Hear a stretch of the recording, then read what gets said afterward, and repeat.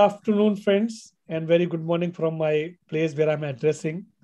I extend a very warm and hearty welcome to all the participants and the learned speaker to the 83rd webinar on fifth Q&A session on companies and securities law.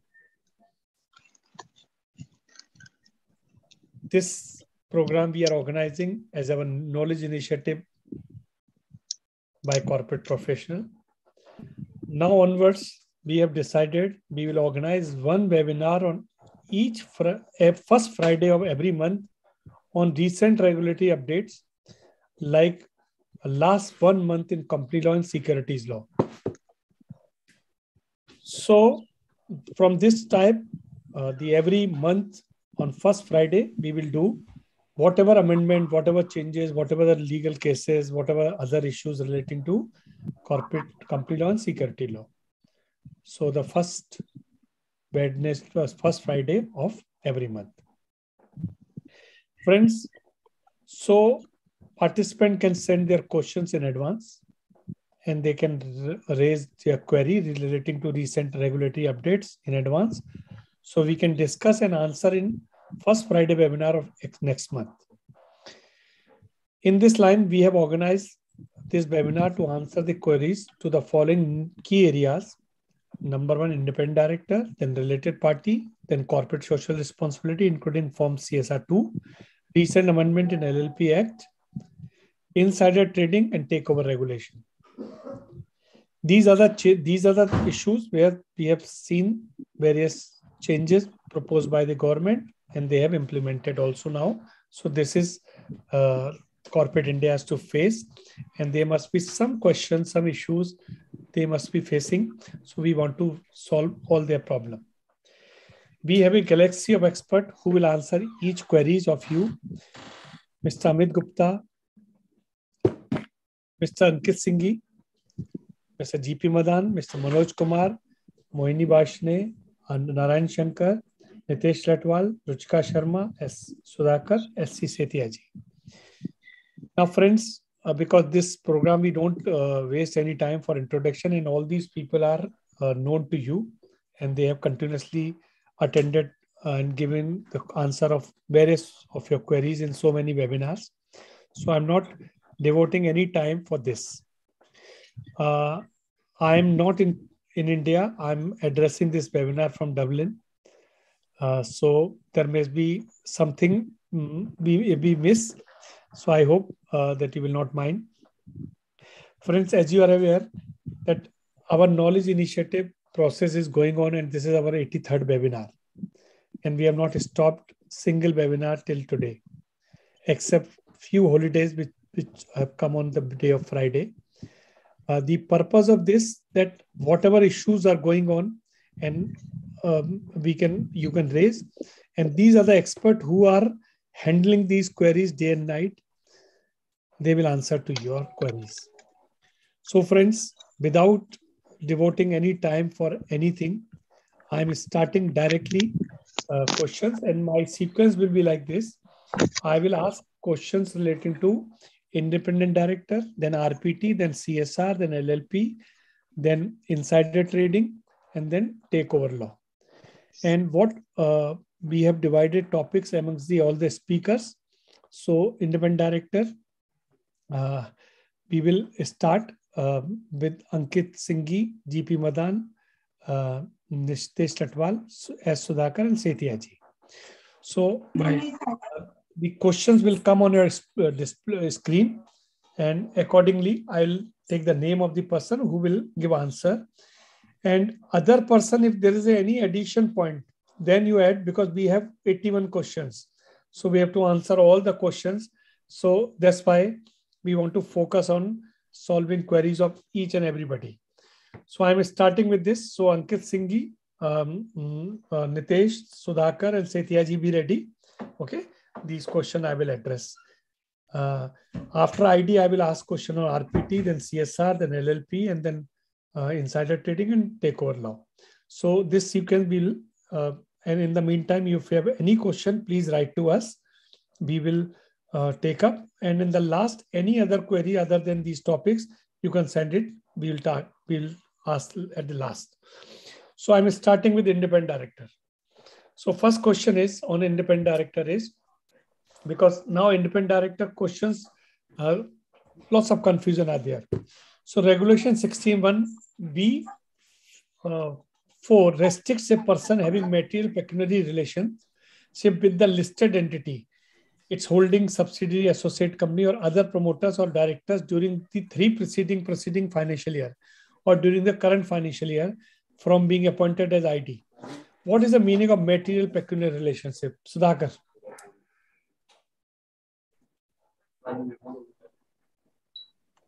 Sudhakar, you so have to. Shall I give also? Shall I give? Sudhakar ji, you are on mute. Yeah, sorry, sorry. At the outset, my sincere thanks to corporate professionals for giving me, I think this is my eighth or ninth webinar which I am doing out of the 83 webinars. And uh, corporate professionals is the only one which is on a consistent basis and a continuous basis organizing these webinars and spreading the wisdom to all the professionals.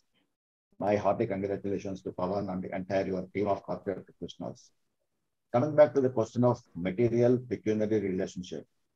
As such, this is not defined neither under the Companies Act nor under the listing regulations.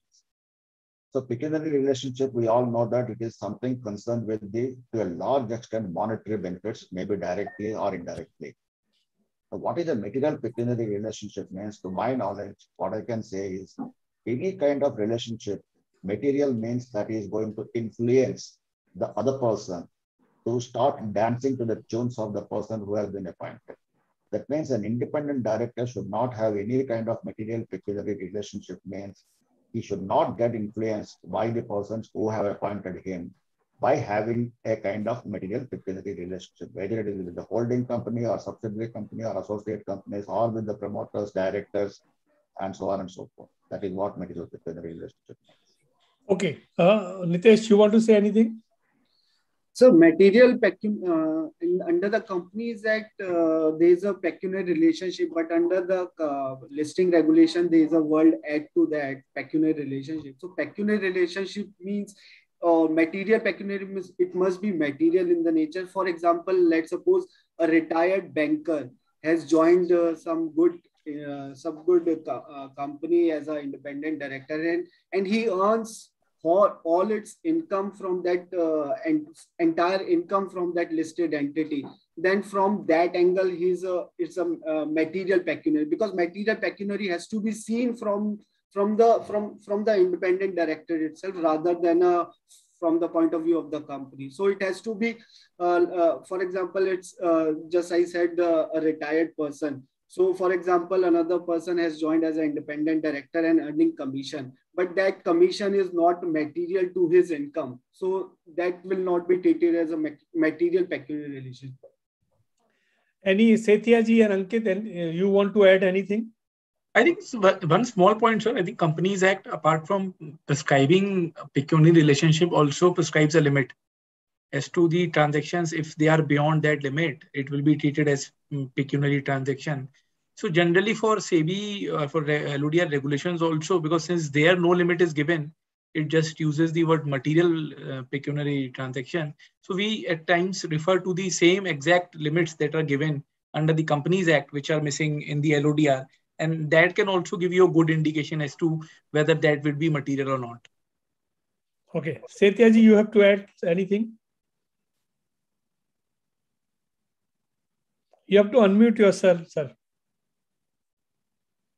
Setia ji आपकी आवाज़ नहीं आ रही हाँ अब आ रही है हाँ sir carry on that limit has to be we have to uh, depend on the company to company what is the company business if small company this limit will be small and if it is a bigger company it will be a bigger limits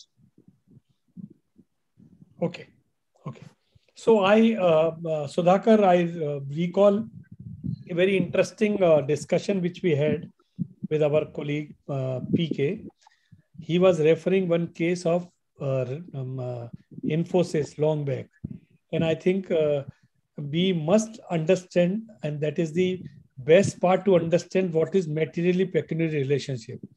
What happened? Some of the independent because in you remember Infosys is giving commission, so all the directors were getting commissions. So one independent director told to the chairman that why can't you pay the our commission monthly or quarterly? So chairman thought it is illegal, so there's no issue. So he said, yes, we can do. So he called the company secretary, and that company secretary was our uh, nothing uh, but uh, Parvatheesam, uh, PK we call. So he told, no, no, sir, we can't do this. So they asked, what is the problem? Well, I'll tell you in the boardroom. And in the boardroom, he discussed this issue, and very interesting point has come out. He told, sir, independent comes with the depending material relationship. Now, what is happening? If we pay them the quarterly or monthly, it means their earning survival is through this company. So he told that we, if this is the survival through the company's commission, it means his independent is not there. So here it's not a amount. Here is not a uh, person's uh, own wealth, but this is another between the line also, which all the four speaker has said that you have to see in overality. Overall issue is that if your dependence is on this basis, it means something you will compromise. And I think entire board has appreciated and they have not given commission to them. Why I said that when you talk about material pecuniary relationship means if it is influencing the other person. Yes, that's right. The matter ends. So that should he should not because the moment he got influenced, his independence is getting compromised. Yeah. So friends, this is uh, uh, so this is very important question. In all questions, when there is a test, you have to test whether something is mm, hitting his independence or not if something is dependent, then his independence will compromise. Next question. So, what is the maximum permitted indebtedness in Regulation 16.1b uh, of 5 uh, that will not make a person ineligible from being appointed as ID, whatever these limits are individual or aggregate or all uh, relatives? Ankit. Nitesh, you can give his voice. Uh, his, uh, Nitesh. Yeah. So the, the limit actually not prescribed under LODR, but it is prescribed under companies that it is 50 lakh limit or it has to be seen collectively for all the individuals. Any different view of Sudhakar and uh, uh Sethia He is right that the limit is the 50 lakhs, but it needs to be enhanced. Okay. Limit is so, very small. Okay, so whatever uh, the speakers are saying and the we are receiving questions, we will, uh, if there is a non-clarity or confusion, we'll refer it to the government also for further clarification. Yeah, next question. Can the board of director appoint an independent director for the second term as an additional director, designated as an independent director subject to approval of shareholders? Sudha? Uh, this particular question, if I'm not wrong, I have answered in the last webinar of corporate professionals also. And this has been very extensively discussed and the rationale for my answer, which I'm going to give, also is explained in the revised guidance for the independent directors. See, what it says is 149 subsection 10 very clearly says that the independent director shall be eligible for reappointment for the second term on passing a special resolution by the company. That means his eligibility for the second term comes only after the special resolution is passed. That means it should be a prior approval of the shareholders, what is required. Number one. As far as the first term is concerned, board is well within its powers to appoint him and all the companies they appoint him as an additional director designated as an independent director for a term of five years as far as the second term is concerned, 149.10 very clearly says that he is eligible only on passing a special resolution by the company. That's why for second term, board has no power to appoint him. It is only with the shareholders. Another question comes, whether that approval is to be taken before his first term expires. Answer is yes, because 149.11 very clearly says that the independent director can hold office for a consecutive two terms. Consecutive means one after the other, there should not be a break in between. That's why before his first term gets expired, the company has to approve his appointment for the second term by way of a special resolution. And Okay. suppose if it has not been taken, what is the what are the consequences?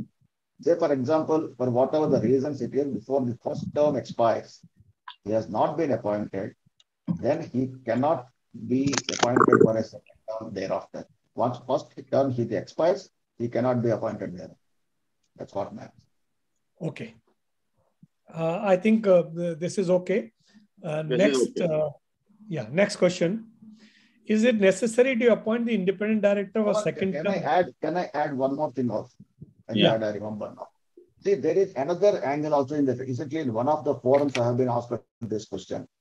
Say, for example, the first term expired. And before his first term expired, the company has not appointed the independent director for the second term. There is a break.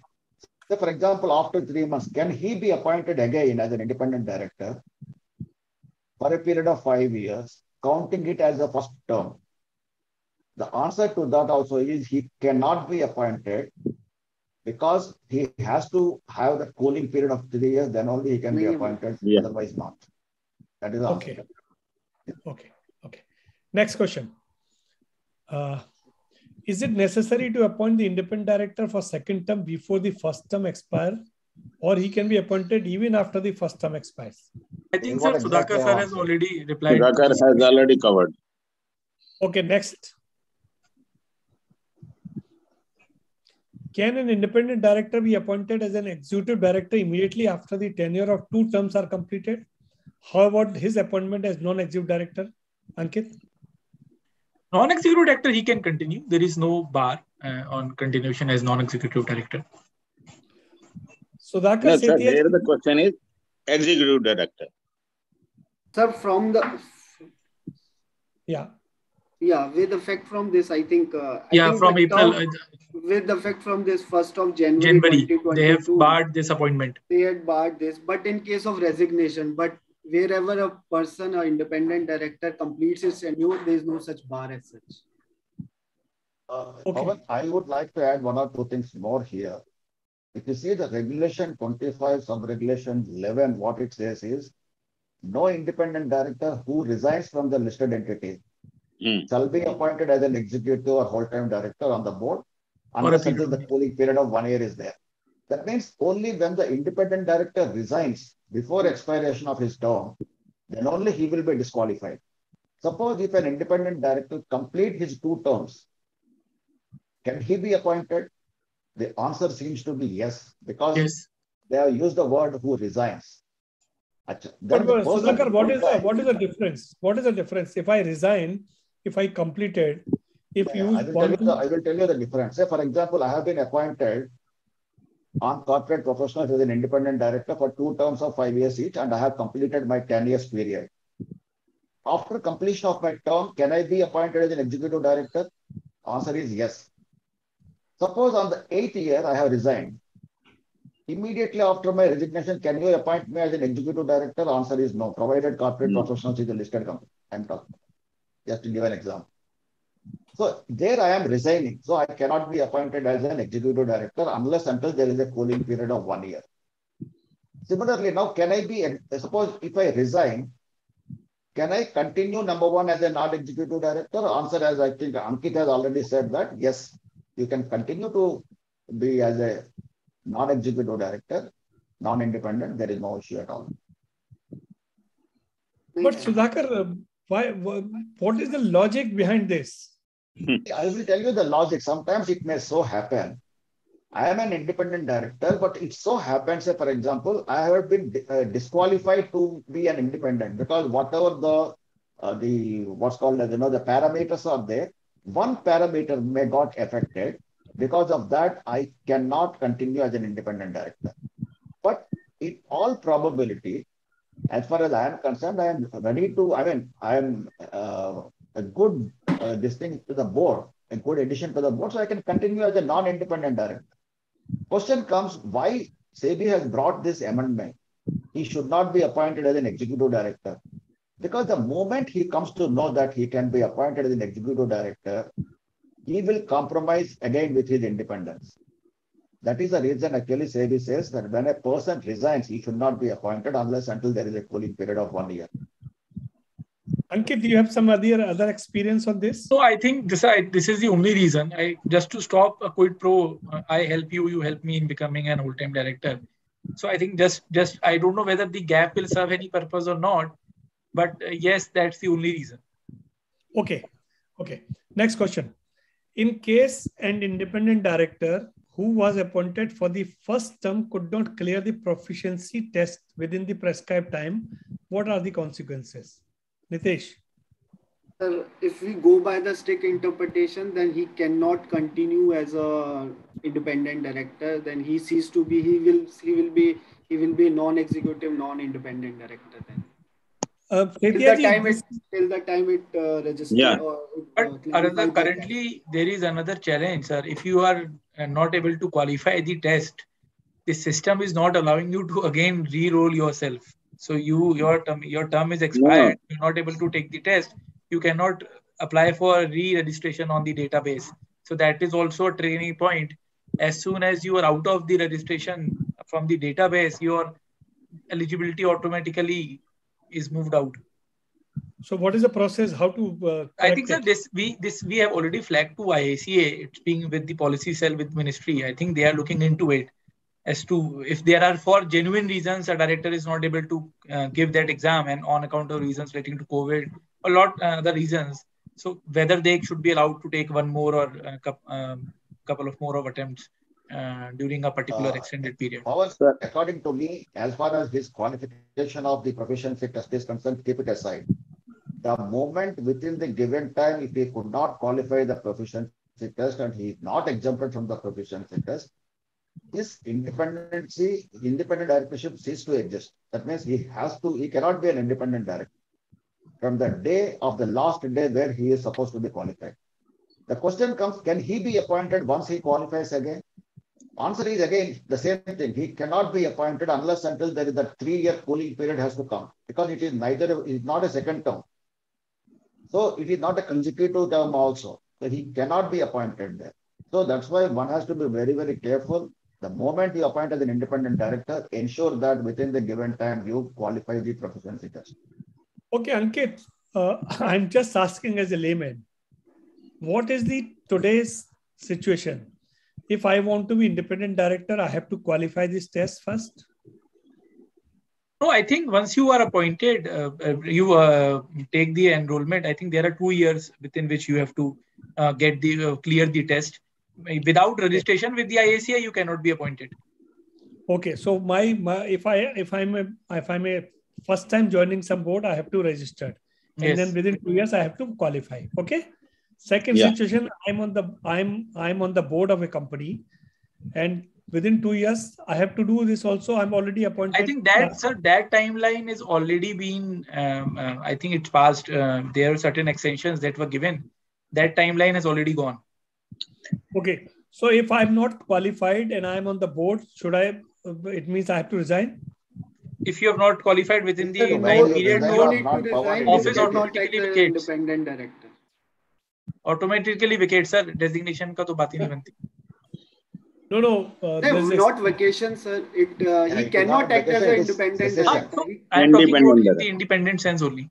So it means that if I'm not qualified during the period which has prescribed, my independent directorship go, I will be called as a non-independent director. Is it right, Yes. Sudhakar?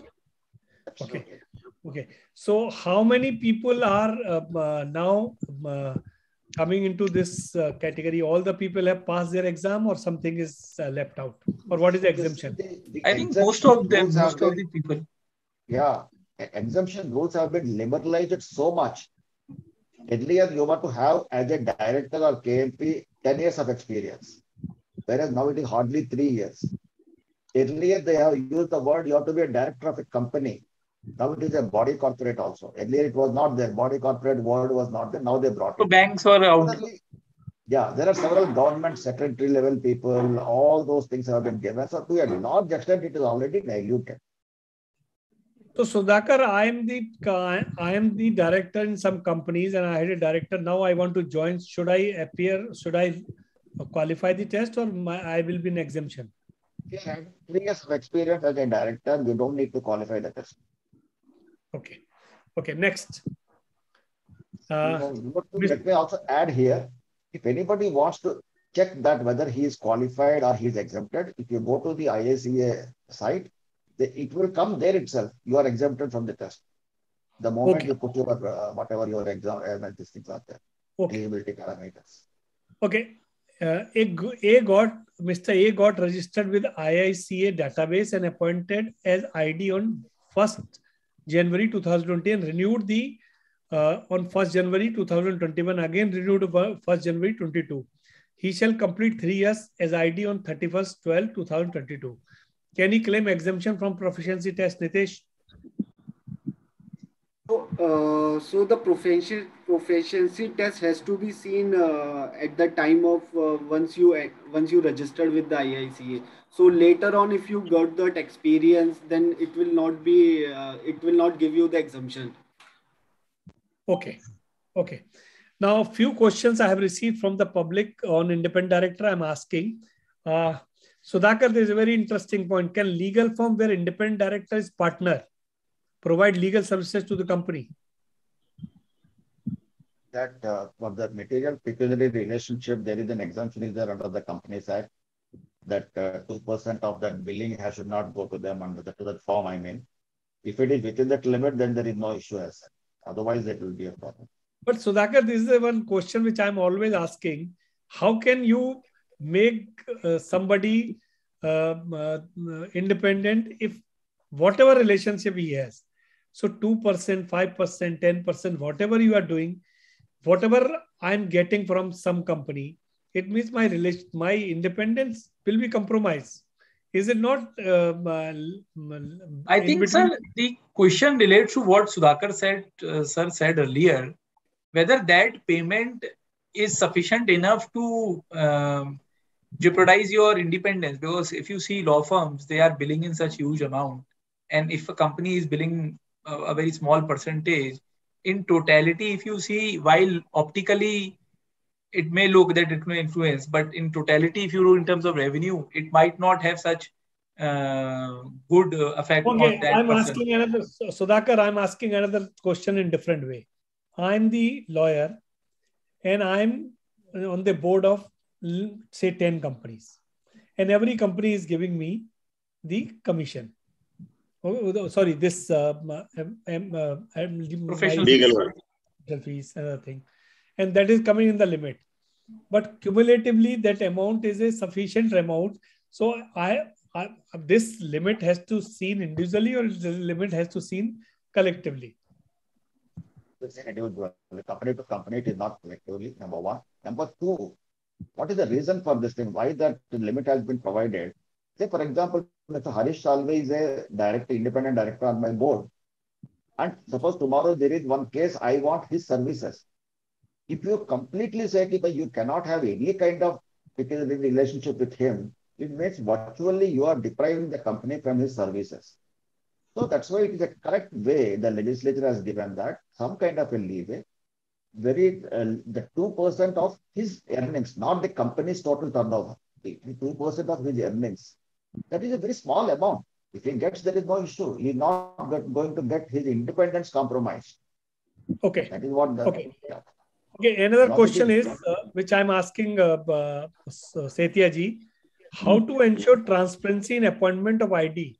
Now promoters appoints person known or positively inclined to the company and person who are not familiar, though they may be highly qualified and deserving, may get ignored.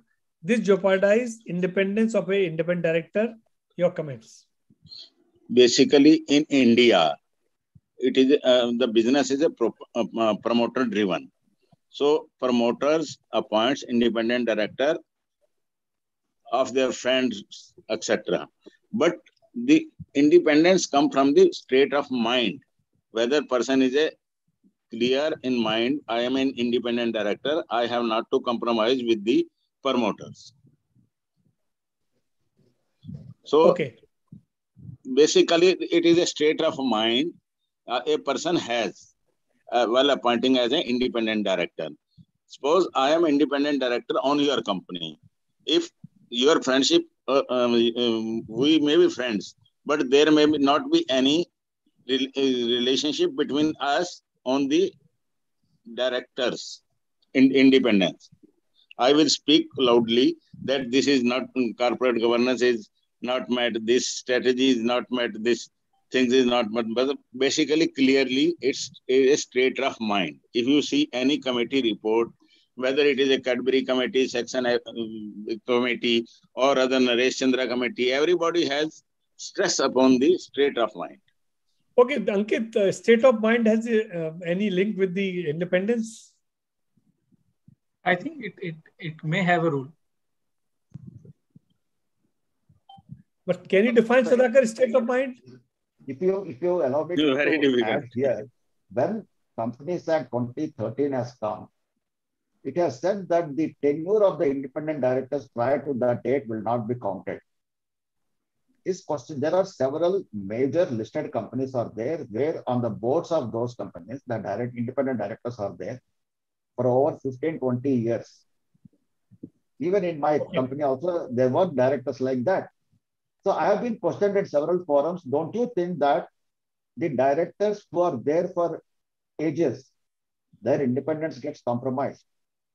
My answer to that is like this not necessarily a person's familiarity with the company or the seniority with the company is going to compromise his independence. In fact, a person who is there with the company for the last 15, 20 years, he knows the culture of the organization, he knows the values of the organization, he knows the family very well, and he can tell them whatever he says, the family respects. The family means the promoter respects it. And that gentleman need not hesitate to call a spade a spade. For example, a person who has been appointed, say, one year before, do you think he will be able to act that independently?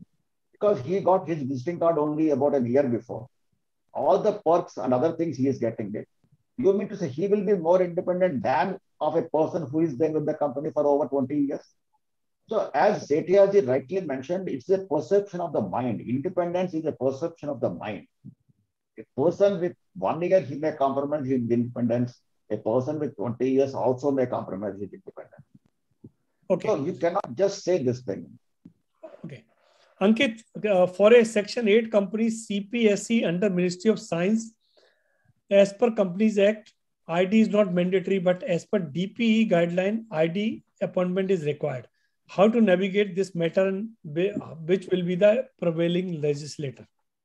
Sir, see, uh, DP guidelines are special uh, law which are applicable to PSUs. So they have to appoint independent directors if the DP guidelines provide so. Okay, okay. Uh, does non-material related party transaction of subs I think this this I will ask uh, uh later on because it's RPT. Uh, can the shareholder appoint the ID with retrospective effect, Nitesh? No, sir. Okay. No.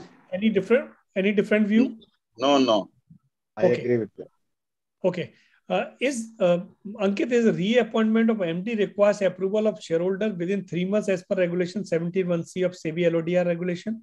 Sir, in my opinion, it should not require the approval within three months. Okay. Any different view? I agree with Ankit. Okay. Uh, can private company issue unsecured unlisted? Uh, this is this later on we will ask. Uh, somebody has given comment. IICA the dashboard are not providing helping in selection of ID. What is the use of passing the test? Sudhakar, you have any comments? That's true. They're only enablers. They cannot get your job. Placement portals are only enablers. that doesn't mean you go and get registered and then you get a job there. It's not like that. Okay. Okay, Nitesh, whether CSCS having working experience of more than 15 years in different executive roles in the company or bank is exempted from passing proficiency test yes, to join IT? Yes, sir. Yes. Yeah. Okay. Uh, now, uh, can a person acting as a nominee director on the board of the listed company after completing of the tenure can be appointed as a ID on the same board? If he meets the eligibility, legally he can be appointed if he meets the eligibility. Okay. Okay. Uh, RBI does not grant NBFC registration even for private limited company without appointing independent director. There is no corresponding law and as per Companies Act 2013. So there is no such requirement that RBI mandates appointment of independent directors in unlisted I, companies. Uh, I, think, I think I think NBFC, which are uh, systematically uh, important NBFCs, Mm. So they need to comply with the corporate governance norms as prescribed by the NBFC master direction. Huh, so, but not so, at the time of registration. Huh, oh, not at the true, time of registration, true. but uh, once you achieve a 500 crore limit of total asset size, so you will be covered under corporate governance. So the answer is even if you are a private even company. if you even if you have a private company and there is a mandate, then you have to appoint an independent director. Whether Companies yeah. Act is silent yes. on this. Okay. Okay. one thing uh, here that, you know, when this question is coming up time and like, I think two, three questions have come up on this issue. The first and primary thing is a company has to comply with the Companies Act. Over and above that, if it is subject to any sectoral regulations, it has to comply with sectoral rules also. Similarly, if it is a listed company, it has to comply with the listed listing regulations. And mm. ultimately, whichever is on the higher pedestal, whatever the regulations which are applicable to you, whichever is on the higher pedestal, you have to comply with. Okay. Okay. Uh, Sudhakar, as per SEBI LODR, recent amendments regulation 16 for company has taken director liability insurance for independent director. Whether premium paid to insurance companies should be form part of ID remuneration? No, at all. ID is not getting any remuneration. Okay, it's not a part of the remuneration. Yeah. It's an obligation on the company. You need to comply okay. with this. Uh, Nitesh, how many attempts can be given by ID in a single day? And he's talking about the exam. I don't think so. There is any such restriction of uh, giving any kind, uh, any number of uh, attempts. Okay. Uh, Setiaji, somebody is asking, please uh, guide us which DP guideline being referred for appointment of independent director for Section 8 companies. DP, there may be, because this is a separate sectorial thing, DP guidelines, I'm not aware what is DP guidelines for Section 8. Although there are companies, Section 8 companies, but mostly they are engaged in the business of uh, promoting uh, art, culture, etc. Okay. DP guidelines otherwise fix up the higher number of independent director for uh. the other companies, other uh, undertakings. Okay. Section 8 is not, because Section 8 is not a business a model. Okay. So somebody was asking that there is no question flashing. Friends, these are the questions which we have received earlier. And these are the online question I have received. Then I'm asking. Now, I will uh, shift to the related party transaction. So the questions relating to related party. So friends, uh, I will start. Can institutional investor also become related party? Sudhakar, because you are handling so many institutional hmm. investors. Yeah, actually, that, that is from uh, the moment that institutional investor is having more than 20% after 1st April 22, he will become a related party. And if he is holding more than 10% after April 1st, 23, no doubt about it, because there is no such exemption as such it is given Okay. okay. Yeah, that is what uh, my you though it's a bit uh, silly, or, but it is law. Okay, friends, I'm asking question to the specific person. If anybody want to add something, just raise your hand. So I'll ask. Okay. Now, next question, uh, Setiaji. How the beneficial interest will be calculated for the purpose of determining related party? Beneficial interest because beneficial interest is that the actually share is held by somebody else, who is somebody else is the shareholder, but ben, he is holding the only beneficial interest. So okay. beneficial interest have to uh, because he is not related party. The holder of the beneficial interest is not the related party. The holder of the share is a related party. My views is that on. Okay. Any sir, different view? Sir, Sir, Mr. Setyaji, can we invoke section 90 here just to uh, determine the actual beneficial? No, no, people are invoking. There is no doubt. People are hmm. invoking. Okay. So, okay. sir, if, if section 90 also uses the term beneficial interest, while the definition yeah. of SBO in the rules uh, -huh. have not used the term beneficial interest, but uh, -huh. section 90 per se is for beneficial interest. Section 90 is entirely different to that of section 89. Hmm. What section 89 talks about is the person who is the beneficial owner, he is not the registered owner. That is the difference. But actually, he is the beneficiary, right? So, what here the listing regulation says is, including the beneficial interest means, if I am having any kind of shares in a company, for whatever the reasons it is, it is registered in the name of somebody else. And I have filed that MDT 34, that 456, that is also to be counted for the purpose of 10% or 20%, whatever it is. As far as Section 90 is concerned, it's entirely a different ballgame. That is only for the purpose of disclosures. Significant beneficial ownership, that is nothing to do with as far as the ownership is concerned for the purpose of 10 and 20%. Okay, okay, okay. So now I have related party transaction, so many questions. So please, uh, I, uh, I will be on focusing only on the crux. Since the word use, uh, next question. Since the word use are at any time during the immediate preceding financial year, for what period should be 20% or 10% shareholder be tracked? Ankit. For any period at any point of time, even for a single day? That uh, within during the financial year, financial any year. point of time. It has to be preceding year. For the for this year, we ah, preceding financial year. Yeah, ah, we need so they are saying preceding financial year any, any day, any time. Any day at any time in the preceding okay. year. Next. Now here the beauty is that suppose that for example, if a person is uh, holding that percentage for even single day in financial year 21, 22, he will be a relevant party in the financial year 22, 23, despite the fact he is not holding even a single share in financial year 22, 23. Correct. Okay. That's clear. okay, okay. Uh, next question is, if shareholder of any person entity hits the threshold of 20, 20%, uh, uh, the 20% or 10% say in the month of April, will they be a related party only in the next financial year? Yes. Yes, sir. Yes. Next. Will SBO under section 90 also get covered as the regulation only refers to declaration received under section 89? Nitesh. Sir, it has different interpretation. Uh, just Sudhakar sir said it only covers only 89, not 90. Sudhakar, you have any view? I, I am absolutely clear as far as I am concerned. 90 has nothing to do with only 89 is concerned with. As far okay. as these percentages are concerned. Okay, next. In case in case HUF is a promoter, who would be the promoter group? It is treated as an individual, Karta or body corporate, which is not.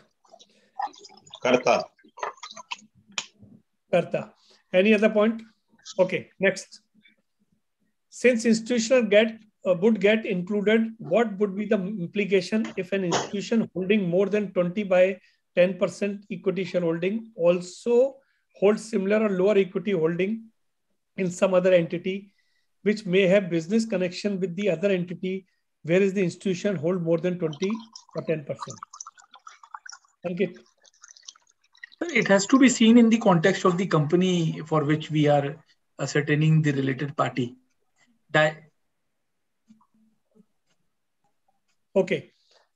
Next. However, if you see, if you see the rationale given for by the working group when they have recommended about the RPT amendments which have come based on that working group recommendations only, they say that not necessarily a person holding 10% or 20% needs to be the promoter to consider as a related party.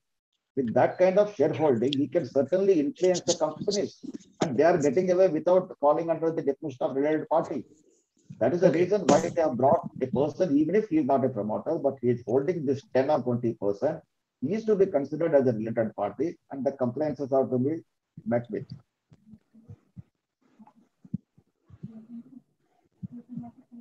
On your on mute. Amit, uh, Amit Gupta has also joined. Amit, any question where you have a different view because your topic assigned is CSR and LLP, but uh, any question which you think you can give it different mm-hmm. dimension, please uh, uh, raise your hand. I'll ask. Okay. Uh, Ankit, is it the obligation of the promoter to report their holding in different companies or is it the responsibility of the listed company? I think uh, listed companies uh, have to uh, check with the promoters as to who are the promoter and promoter group companies. The obligation first is on the listed company and uh, similarly on the promoter companies also. Sudhakar, any different view? According to me, it is the responsibility of the company secretary of the company. It is the onus is not on the promoter at all to declare his uh, uh, shareholding to disclose all those things. It is the company's Okay. uh, the, the company secretary who has to see from the ROM because he is the custodian of the ROM. He has to see that. Okay, next. Will amount of corporate guarantee given to the bank by the holding company or a loan availed by the subsidiary will be taken into account for material threshold of 10%? Ankit? I think yes, uh, it's amount to transfer of obligation. So in my view, it will be covered. So, any other view? Please, Okay. Mr. it's a very contentious issue uh, because uh, if you see the corporate world, corporate practices, generally the guarantee is not considered as a related party transaction. The industry is divided on this particular point in two parts. Few corporates have considered because if you see the list of related party transactions also, because I'm saying it from the understanding if you see the shareholders approval under 23.4 where the materiality uh, threshold is crossed how many companies have gone to take that particular approval? Uh, means uh, i have done some analysis. We have raised this issue in a close group also. And uh, the industry per se seems to be divided. And uh, though i agree in my personal view yes it should be uh, falling in the list of related party transaction, triggering the approval as well, if it is crossing. It is, I think, if I am not wrong, as far as the listed company is concerned, and Ankit rightly said, it is falling under the transfer of obligation. So definitely it is getting covered under the related party transaction definition of 2ZC. Correct. No, if I'm Sudhakar, if I'm giving guarantee, per, uh, bank guarantee, and I'm giving something, so it means कि if there's some problem, it will come on me. So it should be covered. That's why it should be covered. That's what I say. Okay, next. Uh, next question. Is transaction with trust of the company RPT? Nitesh? Yes, sir. If trust Uh, covers under related party, it will be. No, no. In, in fact, we have to see the who are the manager or the holder of the trust, basically. So I think what Who that is is controlling if the trust? is a Who is No, controlling it the trust? covered under related party, sir. So No, if there is a control of the same person, then it is a related party. If trust is an independent, then there is no related yeah, then there will not be any yes, yes. relationship. Under it has to be seen in the context of accounting standard because under Companies Act it won't be hmm. falling under the related party Like ma- like many Under the big accounting companies standard, you have to doing, check. yeah, like many big companies doing CSR activities through their own trust. Yeah, that's true. Oh. Then because that trust is incorporated by either the Yeah, promoter, yeah, of course. Yes, sir. Okay, Here next. again, then it Again, is I a will- related party. Na? one minute. I would like to say here again, First, as far as the company's section two, subsection seventy-six is concerned, it is not falling under the definition of related party. But as far as the listed company is concerned, it may fall under the definition of related party because their accounting standards are also covered. Apart from section two, subsection seventy-six, number one. Number two, if it is not a listed company, according to me, trust is not a relevant party. Accounting standards are only for the purpose of disclosures, not for the purpose of compliance. Okay, okay. Next, whether convertible portion of debenture should also be taken into consideration while determining threshold limit? Ankit, Sir, for which threshold limit? convertible portion of materiality, debenture. maybe materiality, they are asking. No, No, it like- has to be seen in the context of the amount of the transaction. That is the amount of debentures. No, actually it will be double counting. Na? 20% threshold. Ankit, you, Amit, you are saying something? No, I was saying ki the question is whether the shareholding would be the convertible portion of debenture would be considered for the purpose of checking whether he falls in the related party list or not. The 20% diluted basis. Yeah. So it will not be. It will not. Uh, I agree with Amit. It will not be. No, it will not be at the beginning or the end or at the Sir, but the question No, no, is, on- if they have issued conversion, convertible debentures, whether the shareholding of 10% or 20% has to be checked on fully diluted basis. No, it has to be checked on as on basis. So convertible instruments will not be covered at that point of time. Because it will be a double counting. No, sir, how can we double counting if my I have a convertible instrument? The initial limits also covers that, na? Okay, next. Uh, what changes are required in related party transaction policy? Amit, can you suggest some points? Yes, uh, there are many points. Uh, there are couple of structural points because your definition of related parties itself has undergone a change. So one thing is that. Secondly, the law now, now requires you to specify as to what will be considered as a material modification. So you have to determine the criteria on the basis of which material modification shall be recognized because now the material modification shall also be subjected to the approval of audit committee or the shareholders as the case may be. Yeah. So uh, these are some of the changes which are mandatorily required uh, to be taken in your related party transaction policy uh, starting from April 1, 2022. Okay. Uh, next question is what is uh, uh, uh, what are, does material modification mean? Ankit, Sir, material modification has to be first defined by the audit committee as to what they mean the material modification. It can be modification which the audit committee feels material in any related party transaction. It can be the quantum of the uh, contract value, uh, parties to the contract, tenure of the contract, or um, uh, inbuilt values of the goods and services for which the contract is there. So it has to be defined uh, on these parameters by the audit committee in the policy. Okay. Uh, uh, Sudhakar, can some guidance be given on what parameter can be used to define material modification? So certainly, see that according to me, it may be uh, uh, what's called as pricing, it may be quantity, it may be quality, it may be any kind of deliverables, which is going to have an impact on the contract what you have entered into. That is amounts to material modification.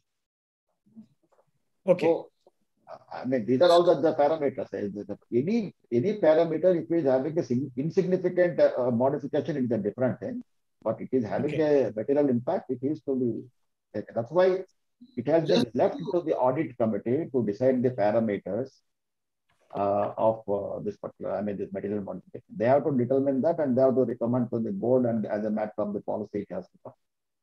So just to add what Sudhakar sir was mentioning, it is uh, highly debatable as to what will be considered as material. It is not easy to understand and to my understanding, uh, so far what we have studied and uh, the policies what we have created, we are not able to have the absolute parameters where we are having a clarity that uh, if you increase the value of transaction by 10% or 20% it will be considered material. There will always be the element of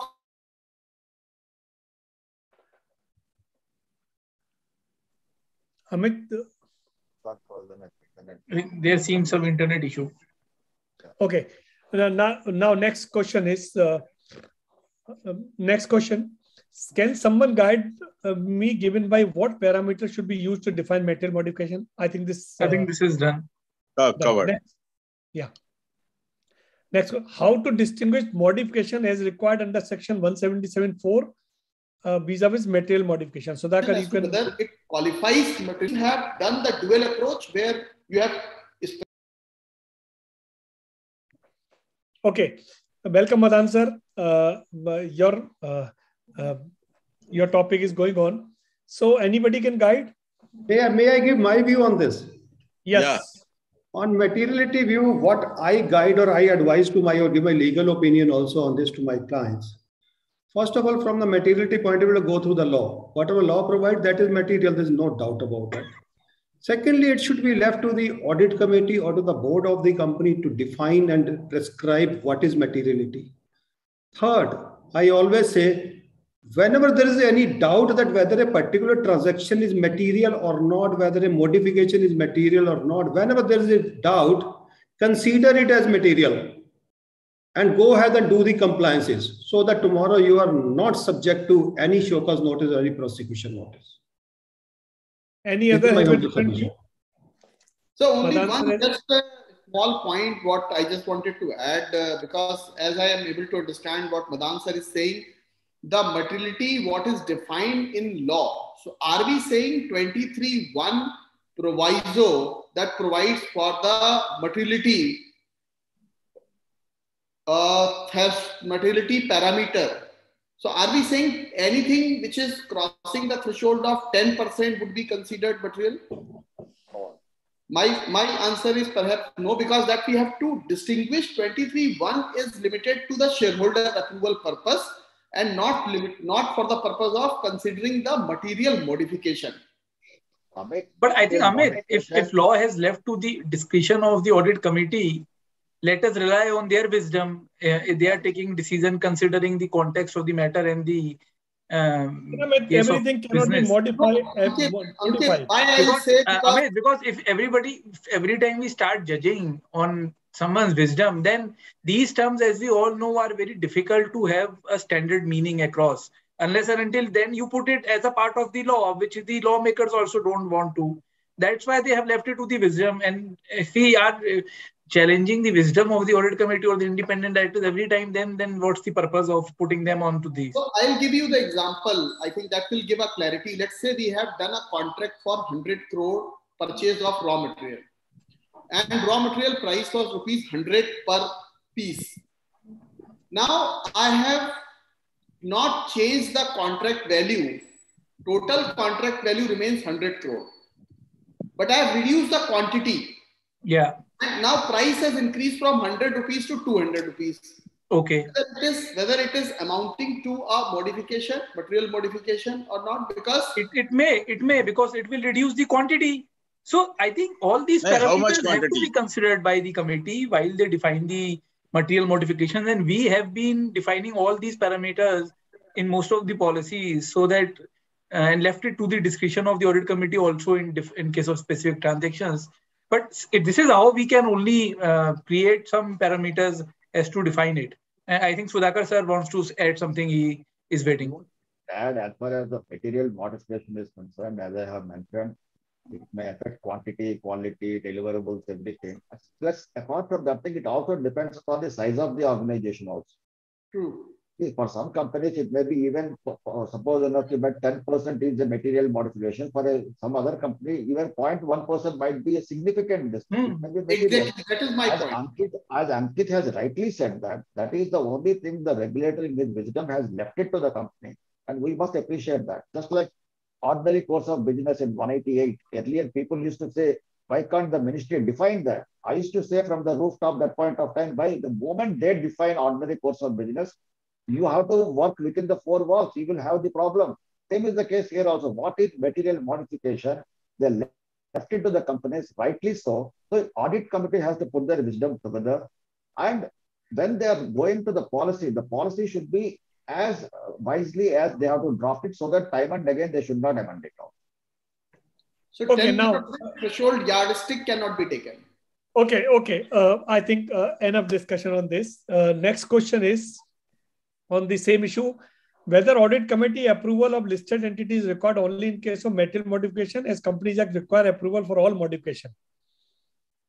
Ankit. Sir, we are um, taking a view that for audit committee transactions, all kind of modifications are requiring approval. And for shareholders approval or board, if it goes to the board, we can look into in terms of material modification. Okay. Any different practices somebody is following? Okay, no. next. Okay, next. Because uh, friends, we have it. We have I think hundred questions. I have only completed twenty five, so I have to be fast. So until unless you have some other thing, or some uh, uh, then you can uh, stop me otherwise i'm just rushing now and this what is done you can move on sir okay this is also the next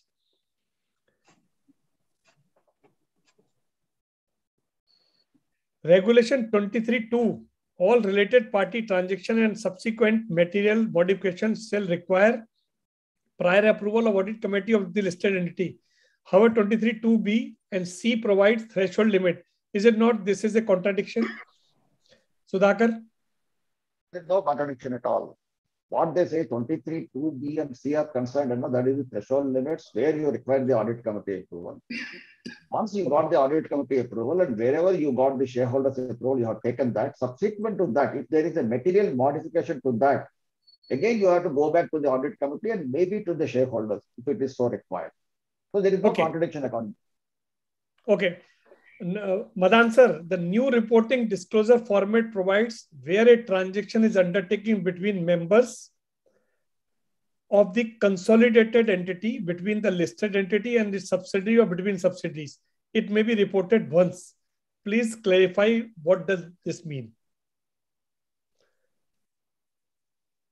I think Madan sir is not there, sir. I think what it means is that since both are related party transactions as both lack, so it need not to be reported twice. If the transaction is reported once, it is in compliance. Okay. Any other view? Yeah, that's correct. A is the holding company, B is the subsidiary, and A is purchasing a material from B. So only one leg of the transaction is required to be reported. That's what the law says. Shivam, change the questions. I think this you are showing the. Um, now, next Next question. question, Next. Is there any specific reason why the half yearly disclosure of RPT or to the exchange are changed from consolidated basis to standalone? I think Sudhakar? standalone is not there. Uh, Sudhakar? Think because of the amendments what they have brought in, they have roped in the subsidiary uh, companies also as the, under the related party approvals and all. So they want, rather than on a consolidated basis, they want on a standalone basis to get more data according. So it will be easier for them to scrutinize or examine the operation. I think Okay, answer is clear. Answer to have a more, more and more disclosure and transparency. Okay. Madan sir, uh, in absence, I have asked one question whether, next question, whether the loan disclosure is required in format for loan given or both loans given and taken. As as we discussed, single transaction will work if it's between same related, the one and another related party, company and a Madan sir- subsidiary. So it can be disclosed on from one end. Madan sir must have some different view. I know, no, I know, no different opinion. अंकित को No तो वैसे भी different. अंकित को वैसे भी कभी oppose नहीं करता मैं. ओके ओके तो next time he will appear मेरा इस पे छोटा सा क्वेश्चन है। मैंने एक लोन का ट्रांजैक्शन किया है। मैंने एक सौ करोड़ रुपए का लोन लिया। मैंने entry so so many South Indian friends are here okay so I am from I have taken a loan from the related party for ₹100 crore now I have shown it as a related party now when i will be making a repayment of this loan from the related party to the company, whether this transaction again required to be disclosed. Sudhakar, you have any view? According to me, no. Okay. But I think, sir, this is disclosed uh, under the um, um, AS24 disclosures that forms part of the financial statement. Amit sir? Yes, it is coming there because show the balances. Now, question is why I am asking because the 23.9 disclosure, if you appreciate, there how will be placing it? Uh, I'm just thinking of a bit. If Okay. both the transactions at different point of time, in one financial year, we would have disclosed the borrowing and in another, the repayment.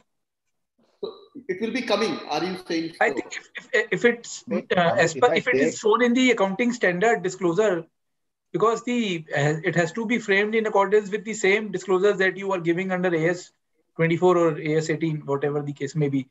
So the similar transaction will also come in that disclosure. 186 register for the loans and investments. At point of time, only when I make the investment, I will make the entry. When I dispose of the investment, I will not make the entry. Same is the case with the loan also. When I take the loan, I will make the entry, not for the repayment. But So under 186, will be applied.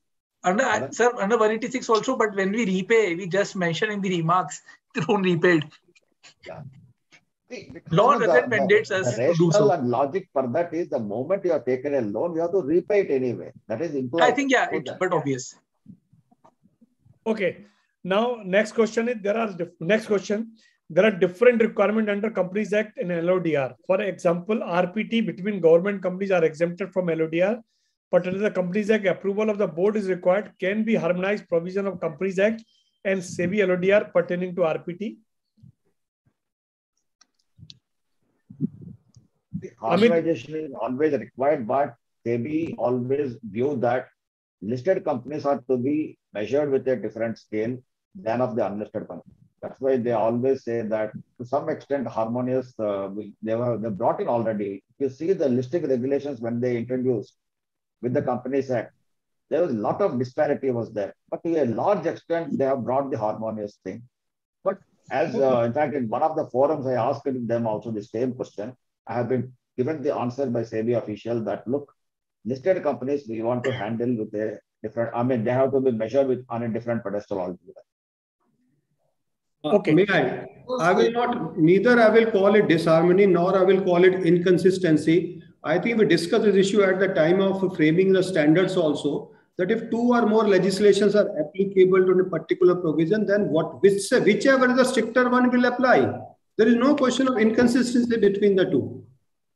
The I think that one the will apply, that's user wants to harmonize. He wants both both laws should provide same thing. No, that, that, that's not possible to, to, to a particular organization. To if, three regulators or four regulators are, are regulating that, that particular entity, certainly there has to be inconsistency, and, and let's not call it inconsistency.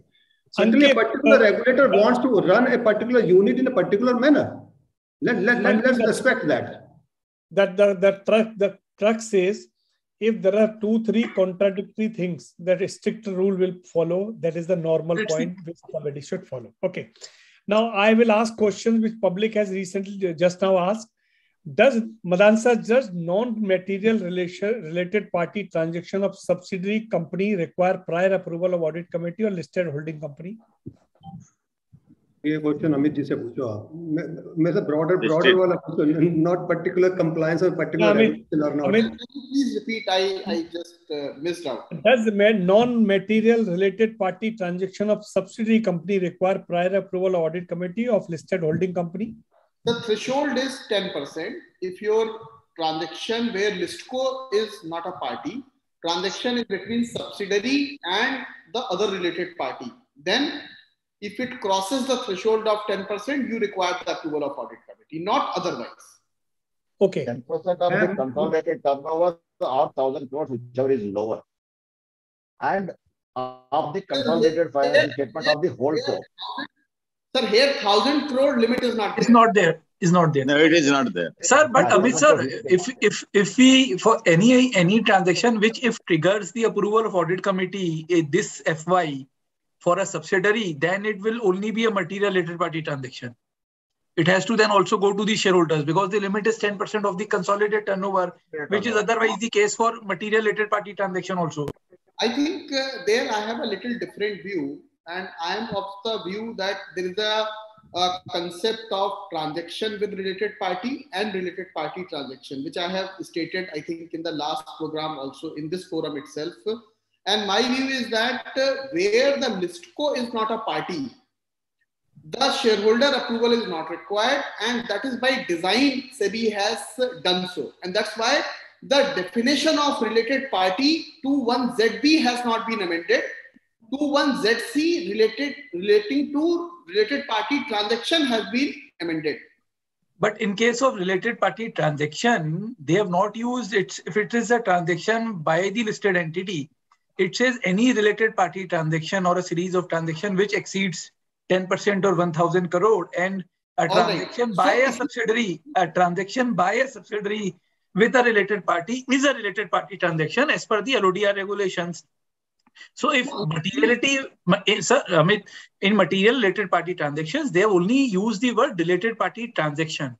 And related party transaction includes a transaction by the subsidiary only with a related party of the listed entity. So Ankit, point is that I just want to draw the attention on two para. you go on the proviso 223.1, where the material related party transaction has been defined. Now, there they have used a different word. Now, when you come to uh, 23.4, they have used a different word. So now question is, unless they harmonize the transaction with related party and the related party transactions to mean the same thing, I think we cannot interpret that uh, both uh, are same and the shareholder approval should not trigger. But then, then it will not defeat the entire objective because you are saying if you if you enters into 10% with a related party, you require approval. But your subsidiary enters it, then you don't require approval. No, no, I'll tell, I'll tell. It will create Amit, imbalance. If I'm not wrong, Amit, if I'm not wrong, what you say is that where is the related party transaction, the whole holdco is not a related party, but only the subsidiary is a related party, then shareholders approval is not required. Correct. Am I correct? That is what you say. Where the holdco is a related party, that point of time, material related party transaction, it has to go to the shareholder. Now, let me, let me, let me, sir, just give me a minute. I'll explain this point the way I have understood. Because if we read the definition of 21ZC, it covers now four type of transactions where listco with a related party of listco, listco with related party of subsidiary, subsidiary with related party of listco, subsidiary with related party of subsidiary. Now, 23 4 envisage only the transaction with related party. It does not envisage a transaction, a related party transaction. So these four transactions are out of ambit of 23.4 the way I read it.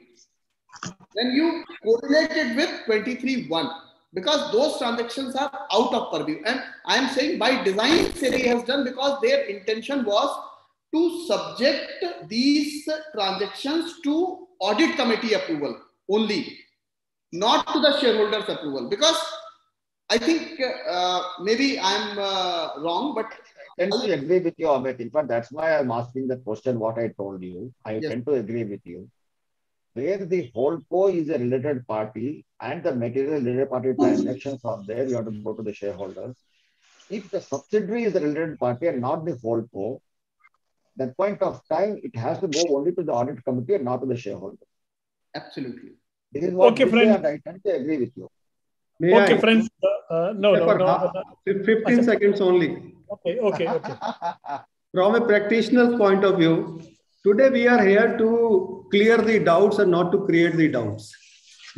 And if the Yes. consensus, if the consensus is not emerging, then my view is if a particular transaction is a related party transaction or not, if there is doubt, treat it as a related party transaction. If there is doubt whether the transaction is material or not, treated as material. If there is doubt that is immaterial transaction, a transaction which is not material should be taken to AC or not, take it to AC. If the transaction already happened, take it to AC for ratification. If you have AC, so what is the issue making? What the point? If the, heaven is not going to fall if you make it part of the agenda item.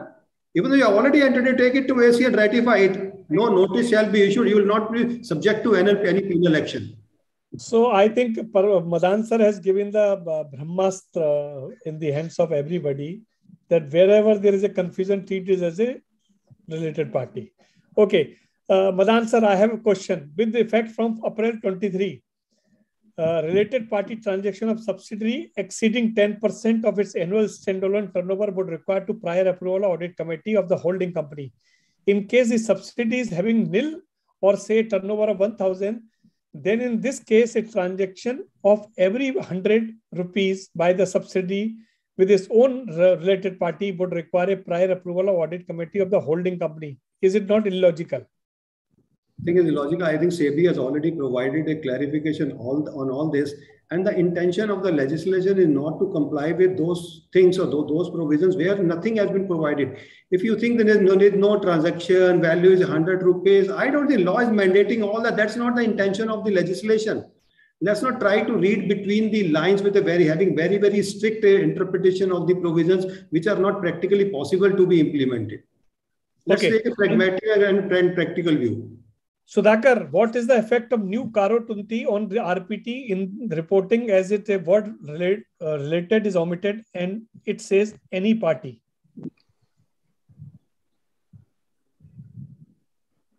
Sudhakar. Again, what is question? What is the effect of new CARO 20, uh, 20 on RPT in the reporting as the word related is omitted and it is say any party?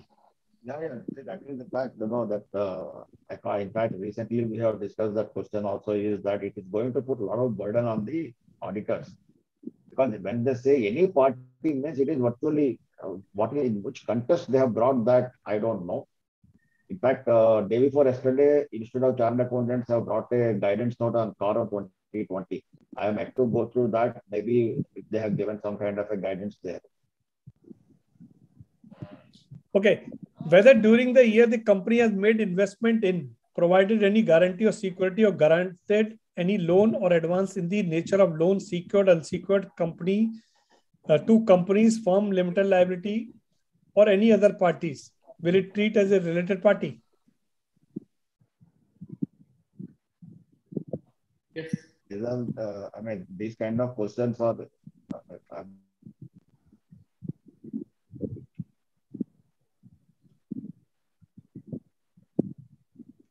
okay.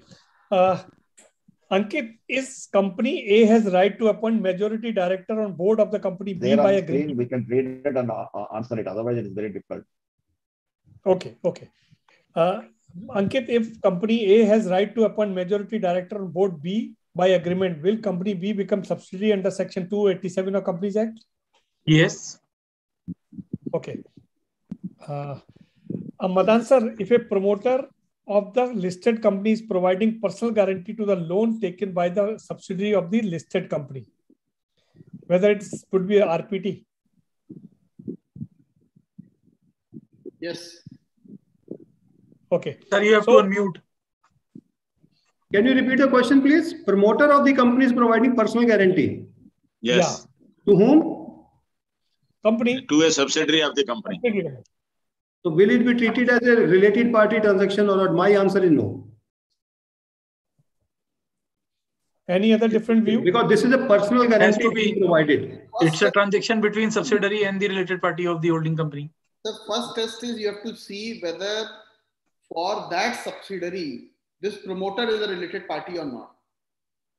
Now, this, this, this promoter of this company is a related party or not? To me, answer is yes, the person would be a related party. If I am doing a transaction between subsidiary and its related party, then why it will not be a related party transaction?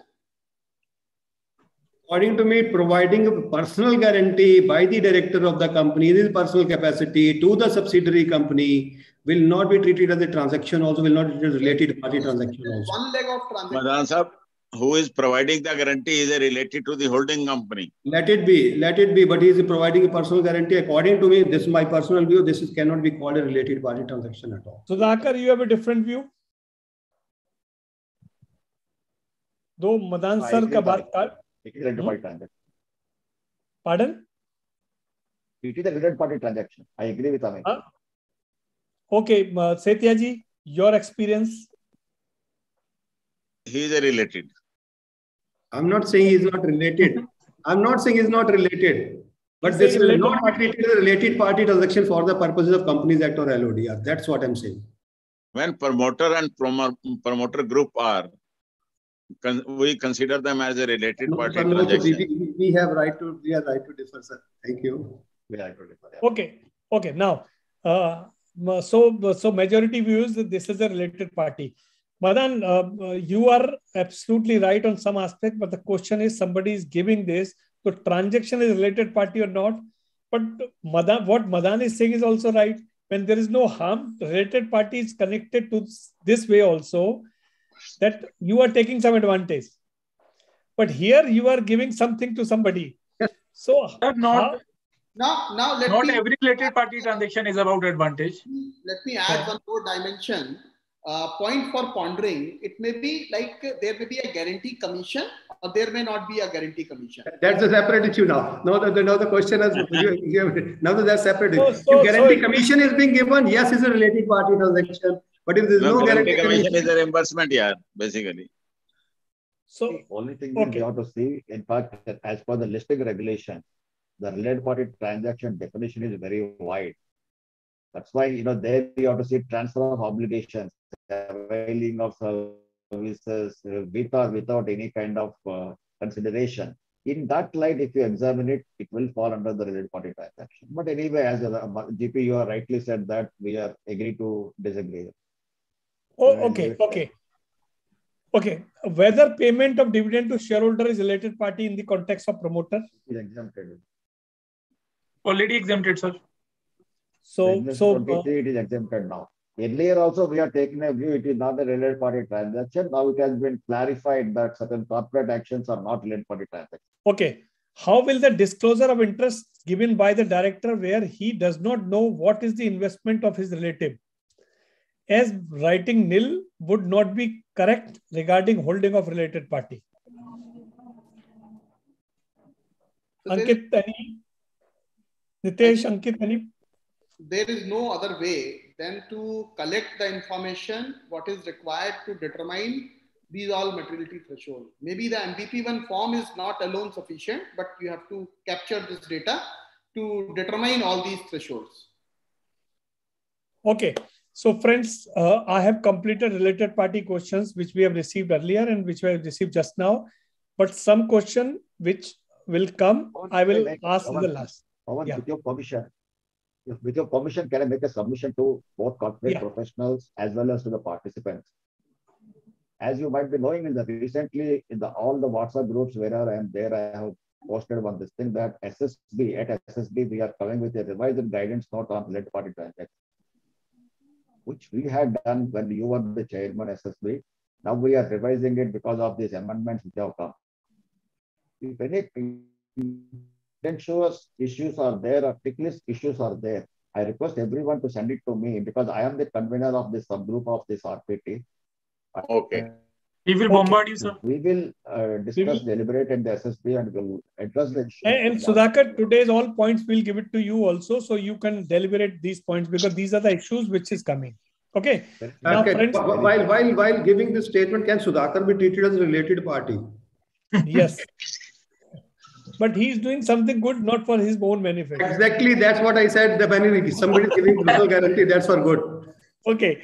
So, friends, now I'm moving to the CSR, uh, the encoding form two, and the Amit uh, Gupta, Ankit Singhi, and um, uh, Sudhakar, they are, and anybody can add. So, now, uh, friends, we have in only half an hour and so many questions. So, no further discussion, yes and no answer. I will start. Okay. Uh, no long discussion. Because all these professionals who are asking these questions, they know the things, only they have a confusion. So, they want clarification from you, expert. So, now, no discussion, only answer. Uh, Amit, I'm starting with you. We are a Section 8 CPSC companies and our activities are the incubator funding. Very well covered under Schedule 7. It is requested to confirm if we can raise CSR fund and deploy in our own activities as apparently there is an exclusive exclusion under FAQ by MCA that company cannot deploy funds for its own activity but silent on the role of company as an implementing agency for CSR. Your view. Yes, uh, very well. If you are acting as an implementing agency for, for two purposes, if I believe correctly, this is a Section 8 company registered by the Government of India for certain incubation services. And for that purpose, if they are raising the funds, they can do so in that manner also. And secondly, if they are uh, taking the funds as an implementing agency and deploying it for that purpose, they can do that also. I don't see that there is any restriction. Okay, uh, I mean, next is it required to maintain a separate bank account for these CSR fund raised for just separate accounting is required? Yes, obviously, to maintain the transparency, whatever business uh, you are doing uh, by way of raising the funds, if you are deploying it for that purpose, you should have that separate account. And whatever you are doing as an implementing agency, that you should do. Although law does not mandate, but uh, it would be always a good accounting practice to have two separate accounts. Okay, uh, so subsequent question, provision on carry forward on unspent amount by implementing agency of CSR fund raised from other company. So as far as uh, whatever money you have raised from the other, like you, whatever money you have received as an implementing agency, as we have clarified time and again that implementing agency is not under the obligation to transfer it to unspent CSR account. Obligation is on the company that is doing the CSR. If that company has failed or implementing agency has failed, the money should go back to the company and company will open a unspent CSR account and transfer it to the fund, transfer it to the okay. bank account. Okay, next question. Uh, Ankit, for which financial year detail relating to turnover, net worth, and net profit shall be filled in Form SCSR2? I think it should be for the year uh, 31st March 20 because we are filing the form for 2021. Just to add one more point, uh, because uh, Rule 3.2 says if uh, I have became qualified for doing the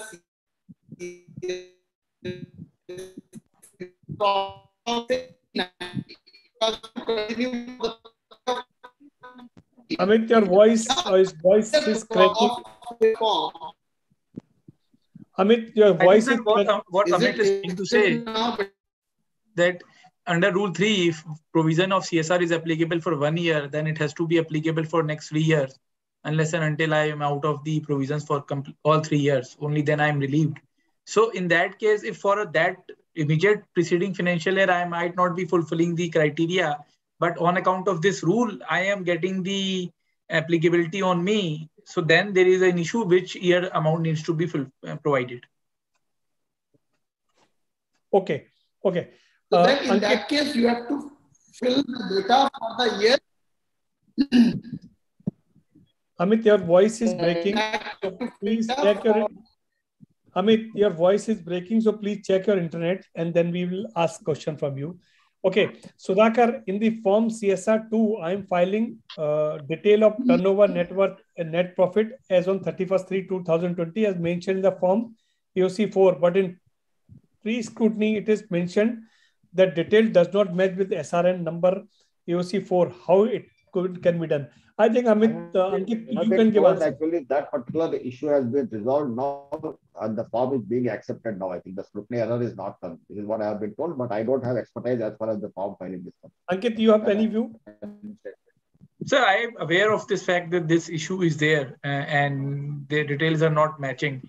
And more importantly, in case of net profit, because actually net profit has to be calculated as per section 198, but in the AOC 4, we are providing a different uh, uh, amount. But I think Amit ha- has looked into this issue.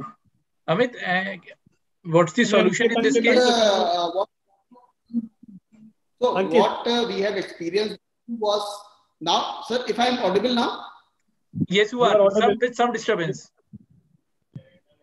okay. So Amit, you can log in. You can log out and log in again. Ankit, one CSR. Uh, next question: Whether a company filing under Section 135 criteria, uh, but having no CSR obligation by virtue of average net profit mandatory to require file CSR two. Yes. Okay, next. Uh, once CSR two filed can be revised. I don't think so. Uh, uh, Sudhakar, I think the system, sir, the system is not allowing to Yeah. revise the form actually. Okay, next. How to name the CSR project in CSR2? I choose to type the description that I choose while selecting from the pop-up menu item wise for each row, but MCA system throws the error message that I should type the name of the project. It also wipe out the figures automatically login out of the screen. Can I guide it on this issue? Sir, reach out to help desk. Okay, next. If company makes CSR voluntarily and not filing form under section 135 criteria, then such company need to file form CSR two. No. Okay, okay. Amit, uh, just um, uh, no, uh, when I am doing voluntarily, and let us say you have a, some carry forward, then in that case you will be required to file CSR two. Otherwise, next year carry forward issues may okay, okay. Next is rule three two of one CSR provision are applicable in any financial is applicable for three years. In our C- uh, company, CSR was applicable in 2018-19, but it was not applicable in 1920 and 2021. Request you to please guide whether filing form CSR2 is compulsory for such company. Yes. Yes. Okay. Yes. Next, next. Uh, is company uh, does not file CSR uh, two, then what will be the consequences? Uh, Sudhakar. Non-compliance. Huh? Non-compliance with all, yes, that's it. Okay. It would be a That- non-compliance of 450. Where Okay. company information is about sought by government. Yes. Okay. If a company trans next, if a company transfer fund to its own trust created for CSR and the administrative expenses of trust are below 5%. However, the trust is managing the project through implementation agency. Hence, the administrative expense of the implementing agency are admissible as CSR expense or not.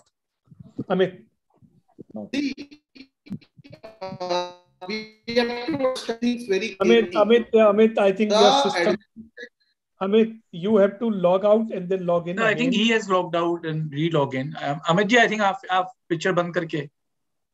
Now, Okay. now, now is it better? Yes. Yes, Yeah. yes.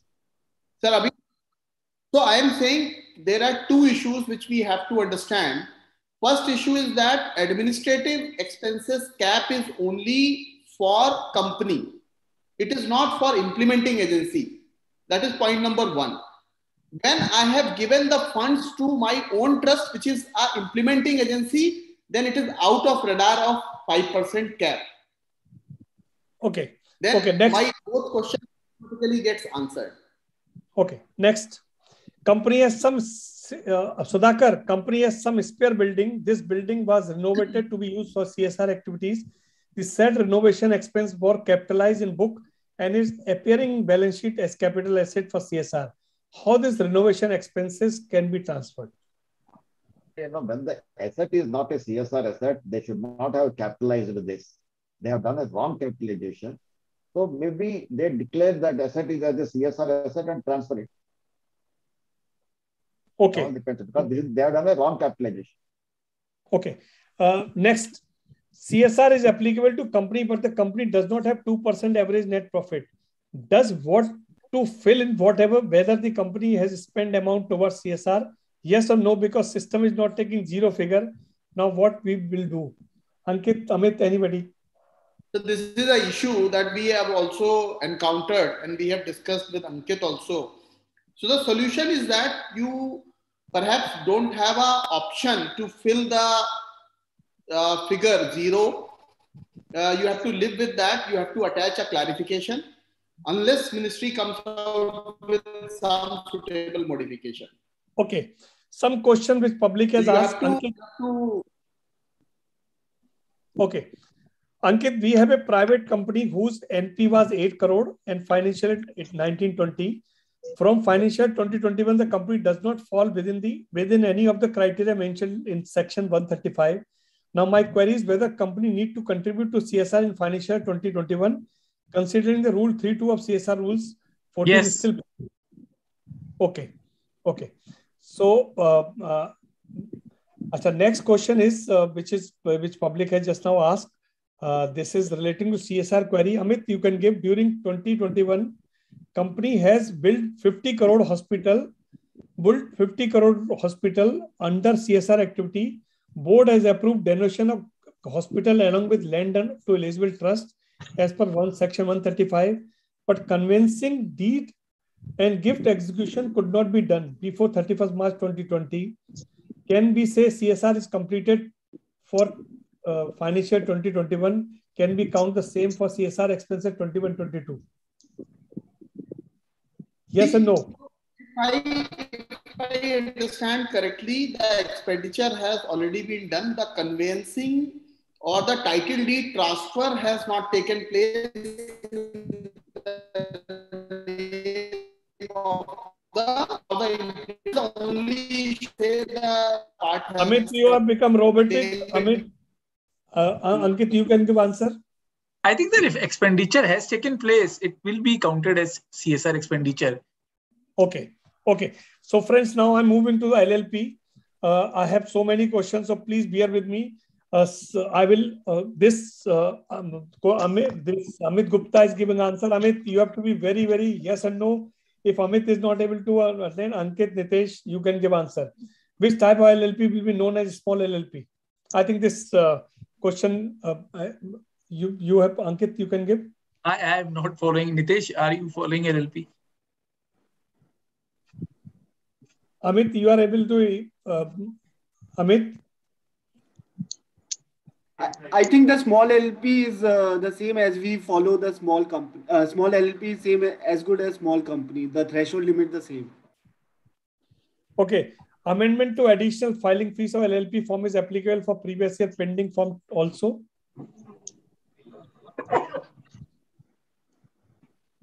Yes, Amit, sir. Yes. Yeah, please tell. Amendment to additional fee filing fees. Sir, it is applicable. Okay, next. If a person is designated partner in 10 LLP and director in 15 companies, can be uh, can it will be default under Section 165 of Companies Act, Ankit? And sir, so under no. Section 165, there is no limit in terms of designated partners. That is within the LLP. I don't think there will be any default. Uh, more LLP partners will not uh, invoke uh, the non-compliance under Companies Act. It will be a non-compliance under LLP Act, not Companies Act. Okay, next. So, uh, is Section 90 relating to SBO applicable on LLP? Does LLP need to file initial declaration form uh, when two? If yes, then what is the timeline? Ankit, Nitesh, anybody? Timeline. I think it has to be 30 days, uh, the normal timeline that is there. I actually am not following LLP. I'll okay, no problem. Uh, Amit is yeah, there. Yeah. Amit is there. Yeah, Amit. So, if I'm audible now? Yeah, you are.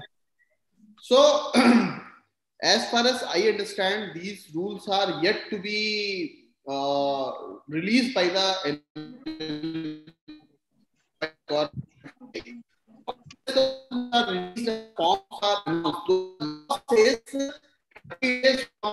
of notification, the provisions will become applicable.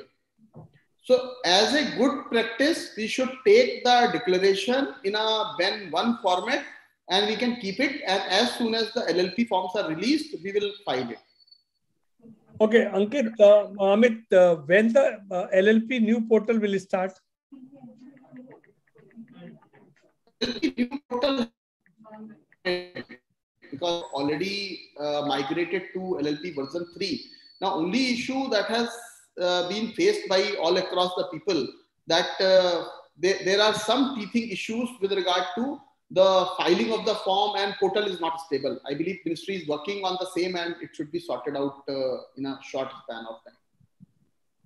Okay. Amit, uh, next next question. I think next question. This is very this too long. Next. Next question. Shivam. Amit, clause CD of subsection 1 of section 167 applicable to LLP, which told about contravention of provision of section 184, and the other hand, section 184 is not applicable to LLP.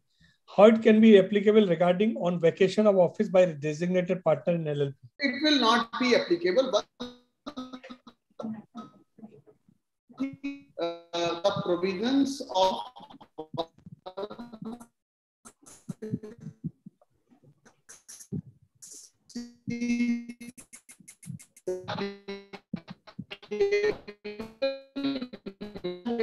Amit, I think uh, I think your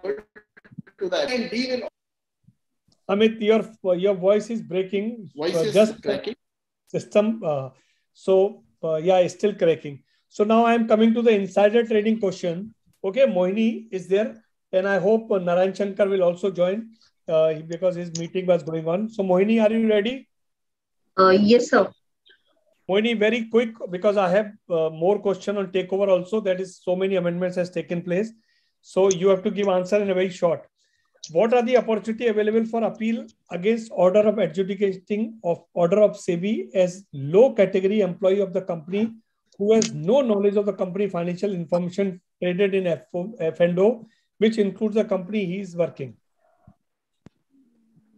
What are the available against adjudicating? So if he is a, uh, if he has but no knowledge is not a, ignorance of law is not uh, uh, the not a way out. So I think uh, the company you can go for an appeal, but definitely based upon that you have no knowledge and you have traded in the FNO and you are the designated person.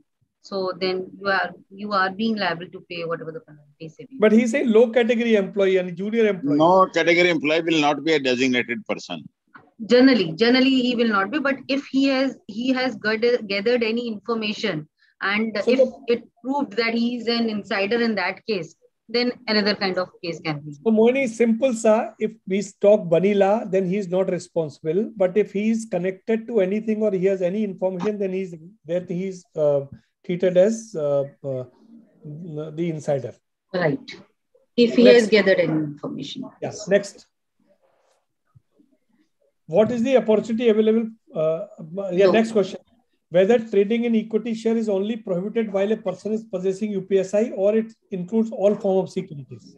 No, any form of securities. Nowadays, debt com- debt is also listed. So, in case if your debt is listed uh, and you are sharing, you are trading when you are you're trading in the same script of uh, listed uh, debt securities, and you are in possession of UPSI, you are liable as per the rate.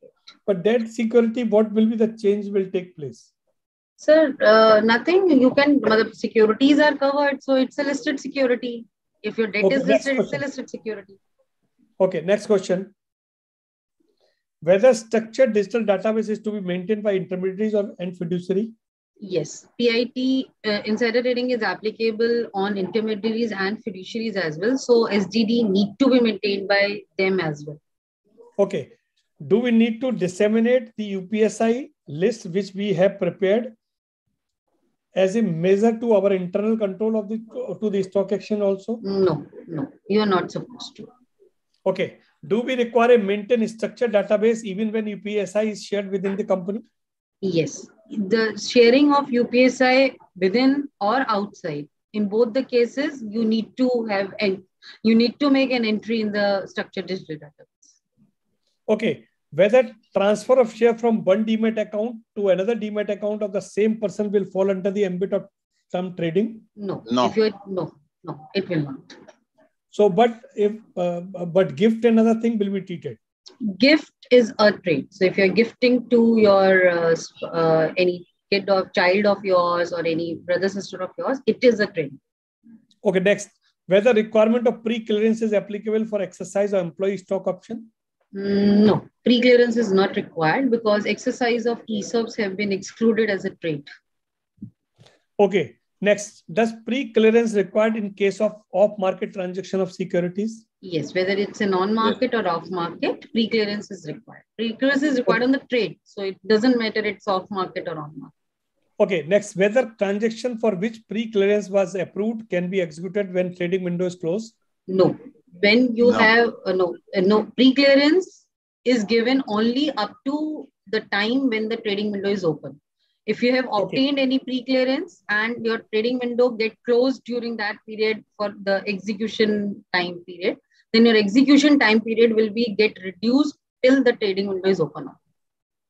Okay, can grant of ESOP be made in trading window closure period? Yes, grant of ESOPs Yes. can be made. Okay. Next, does contra trade restricts apply on individual share transaction or it applies on transaction executed on particular date? No, transaction wise, we need to, not the shares. Uh, it doesn't matter with the shares. That means if you have uh, uh, purchased today, then you cannot sell, enter into a sale transaction. And similarly, you cannot enter into a purchase transaction. It doesn't matter with that how many shares are being involved in all these transactions. Okay. Okay. Okay.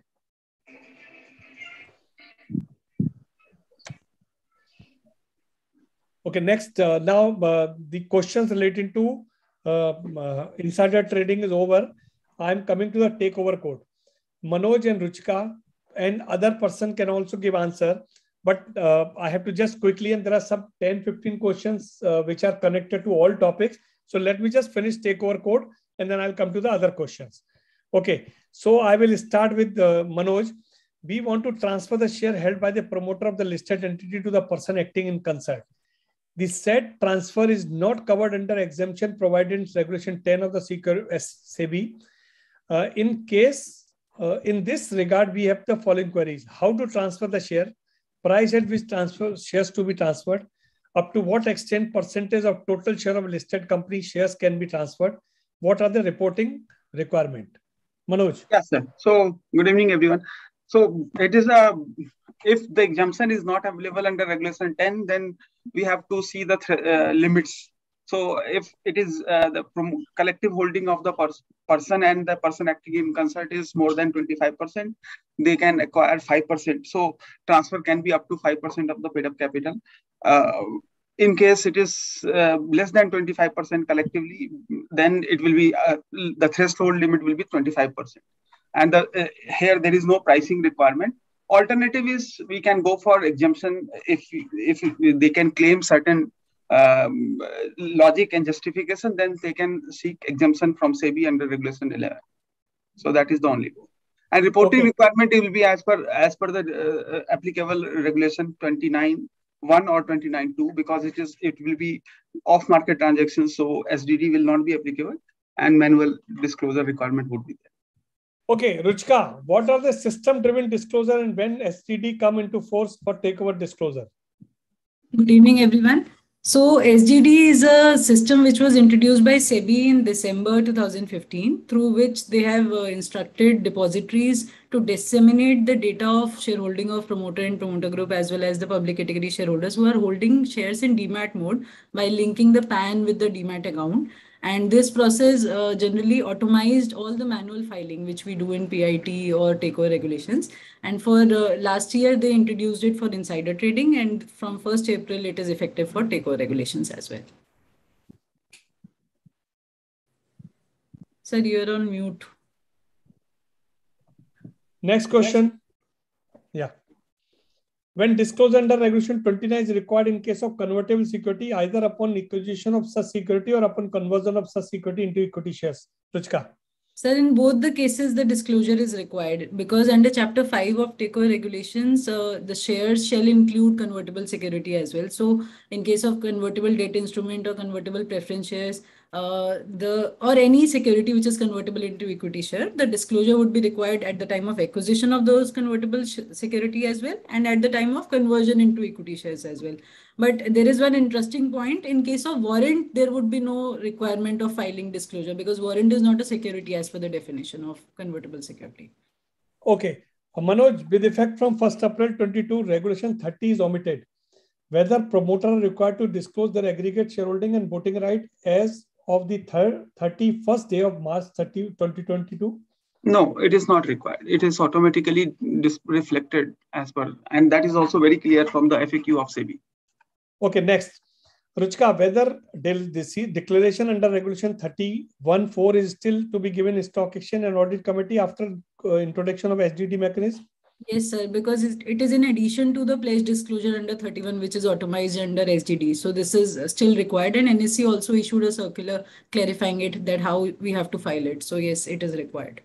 Okay, next. If the, uh, Ruchka, if the holding of any shareholder remains the same, but the percentage of shareholding or voting right of the total paid up share capital of the target company changed due to some corporate action like buyback, preferential allotment, whether the shareholder is required to make disclosure to the changes in stock or shareholding disclosure under Regulation 29.2?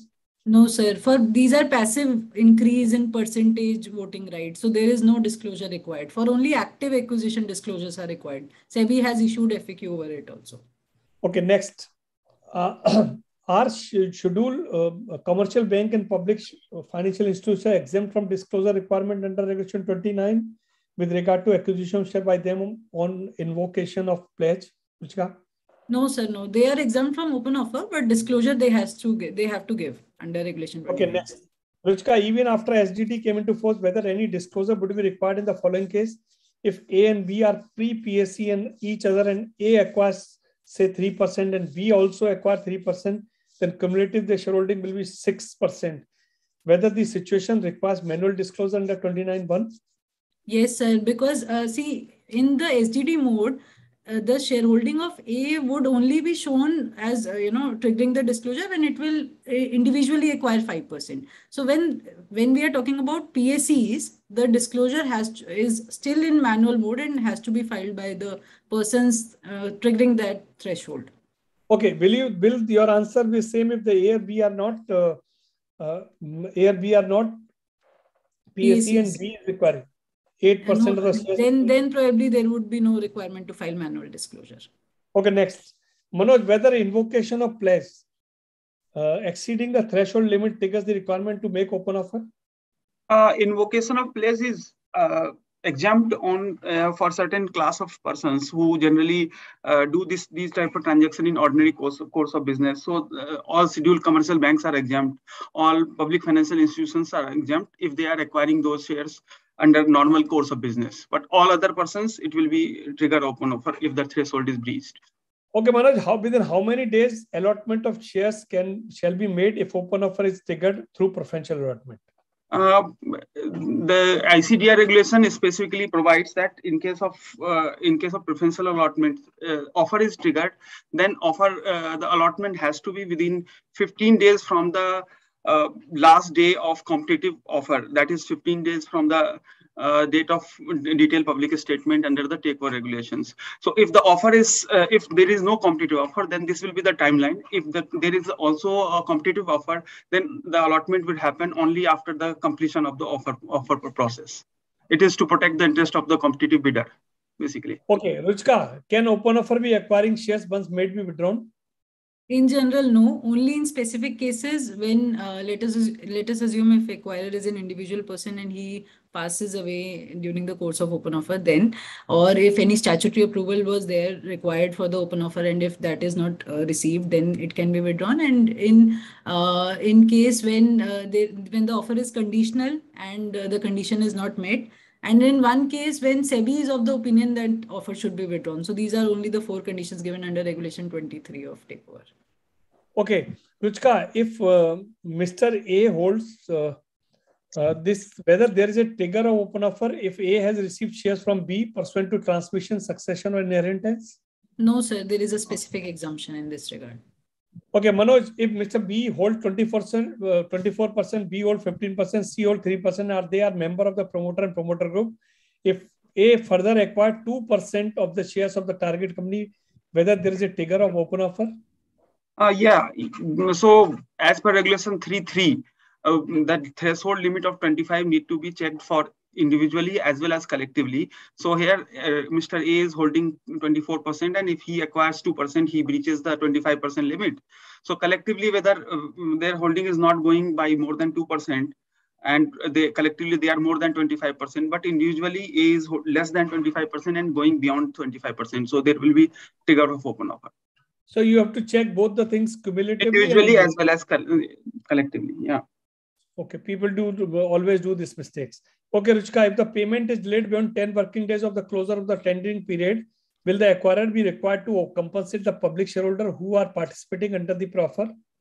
Yes, sir. In case uh, the delay is attributable to acquirer and because of them, uh, the, if the delay is, then they have to compensate by paying 10% additional interest. But let us assume if the delay is not attributable due to some you know, statutory authority took some time and they were proactive in taking that uh, statutory approval. So then there would be no compensation required. Yeah. Okay. Okay. So next question. If a person was not holding any shares on the identified date, but the acquirer acquired shares subsequently, then whether such person is eligible to participate in open offer? Yes, sir. Yes, sir. Because uh, identified date is only for the purpose of sending the letter of offer, and they can tender in open offer even if they acquired after the identified date. Okay. Uh, if whether next whether physical whether physical shares can be tendered upon uh, under open offer or not. If yes then what is the procedure? Till now SEBI has uh, not you know disallowed the tendering of physical shares and delisting offer buyback and takeovers so yes it, they can be tendered. And the process is that uh, that physical shareholder has to open a trading account with the dps and through that trading account the bid has to be made and the physical certificates and all the you know documents which are required for tendering shall be sent to the rta's address within two working days so that is how their shares can be accepted under open offer yeah, not okay. DP, but broker. We have to Brokers. approach some brokers. Yeah. I was, uh, I meant broker yeah. only. Okay. What are the precondition to claim exemption amongst promoter and promoter group companies? Under regulation 10, sir, uh, if uh, promoter and promoter group members want to seek exemption, then they have to be shown as promoter in the shareholding pattern for last three years. That is the first condition. They have to comply with chapter 5 compliances in last three years. If they are not complying, then they are not eligible to seek exemption. And other uh, condition is that the acquisition price for the inter se transfer shall not be more than 25% of the price determined. If frequently traded, then volume weighted average price of 60 trading days. Okay, Manoj, uh, can it family trust whose members already form part of the promoter and promoter group of the target company seek exemption under section under regulation 10 for the acquiring shares of the target company for very first time? So family trust and trusts are not uh, recognized as one of the category of person who are under who are basically under automatic exemption in the regulation 10 except except uh, regulation 1013 2 uh, a2 a2 which talks about any two persons who are collect, uh, being shown as promoter for last 3 years. So if they are not being shown as promoter promoter group part of the promoter promoter group for last 3 years then a trust cannot acquire under inter se from any other member of the family. But oh. but many of the cases the exemptions are being granted, and SEBI has uh, given a specific uh, checklist for exemption in such cases where shares need to be transferred to uh, trust by the uh, settler who is part of the promoter promoter group. So subject to certain conditions, the exemption is granted, and we have uh, provided such type of many of the cases exemptions are given. So that is okay. Okay. Now, now few questions which have which just now have received. Can uh, uh, which can private company this this is of, uh, open for all. This one uh, can private company issue unsecured, unlisted, convertible debenture. Manoj, you can tell. Private company. Uh, there is a restriction. Uh, it should not be uh, covered under the definition of deposit. If it is not falling under defin definition deposit, yes, then it can. Okay, Nitesh, in the form MBP1, do we need to disclose about directorship in other companies as section 184.2 does not have the reference of directorship in other companies? 184.2 no, for disclosure is required under 184.1, not 184.2. MBP1 goes under 184.1 where you have to disclose all your interests directly, indirectly. It includes directorships. Okay.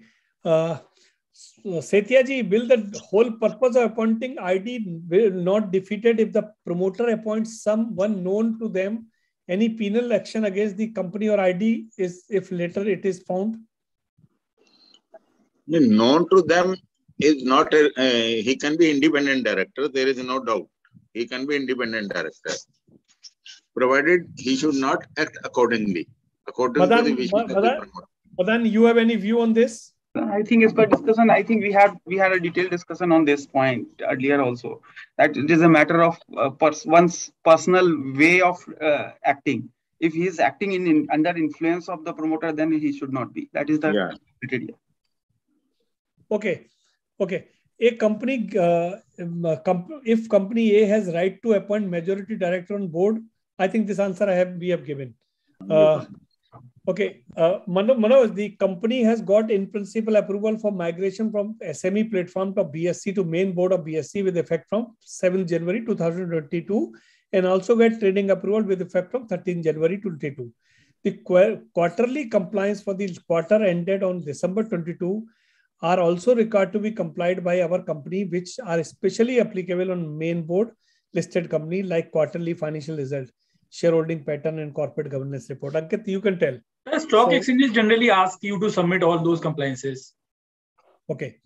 Uh, uh, Madan sir, I just read in IICA uh, ID database website the CA or CS is practicing more than 10 years exempted from, I think this, uh, I think I this think answer have we discussed have given. this. Yeah, yeah. That question was The director say he does not know. New, I think this is incomplete.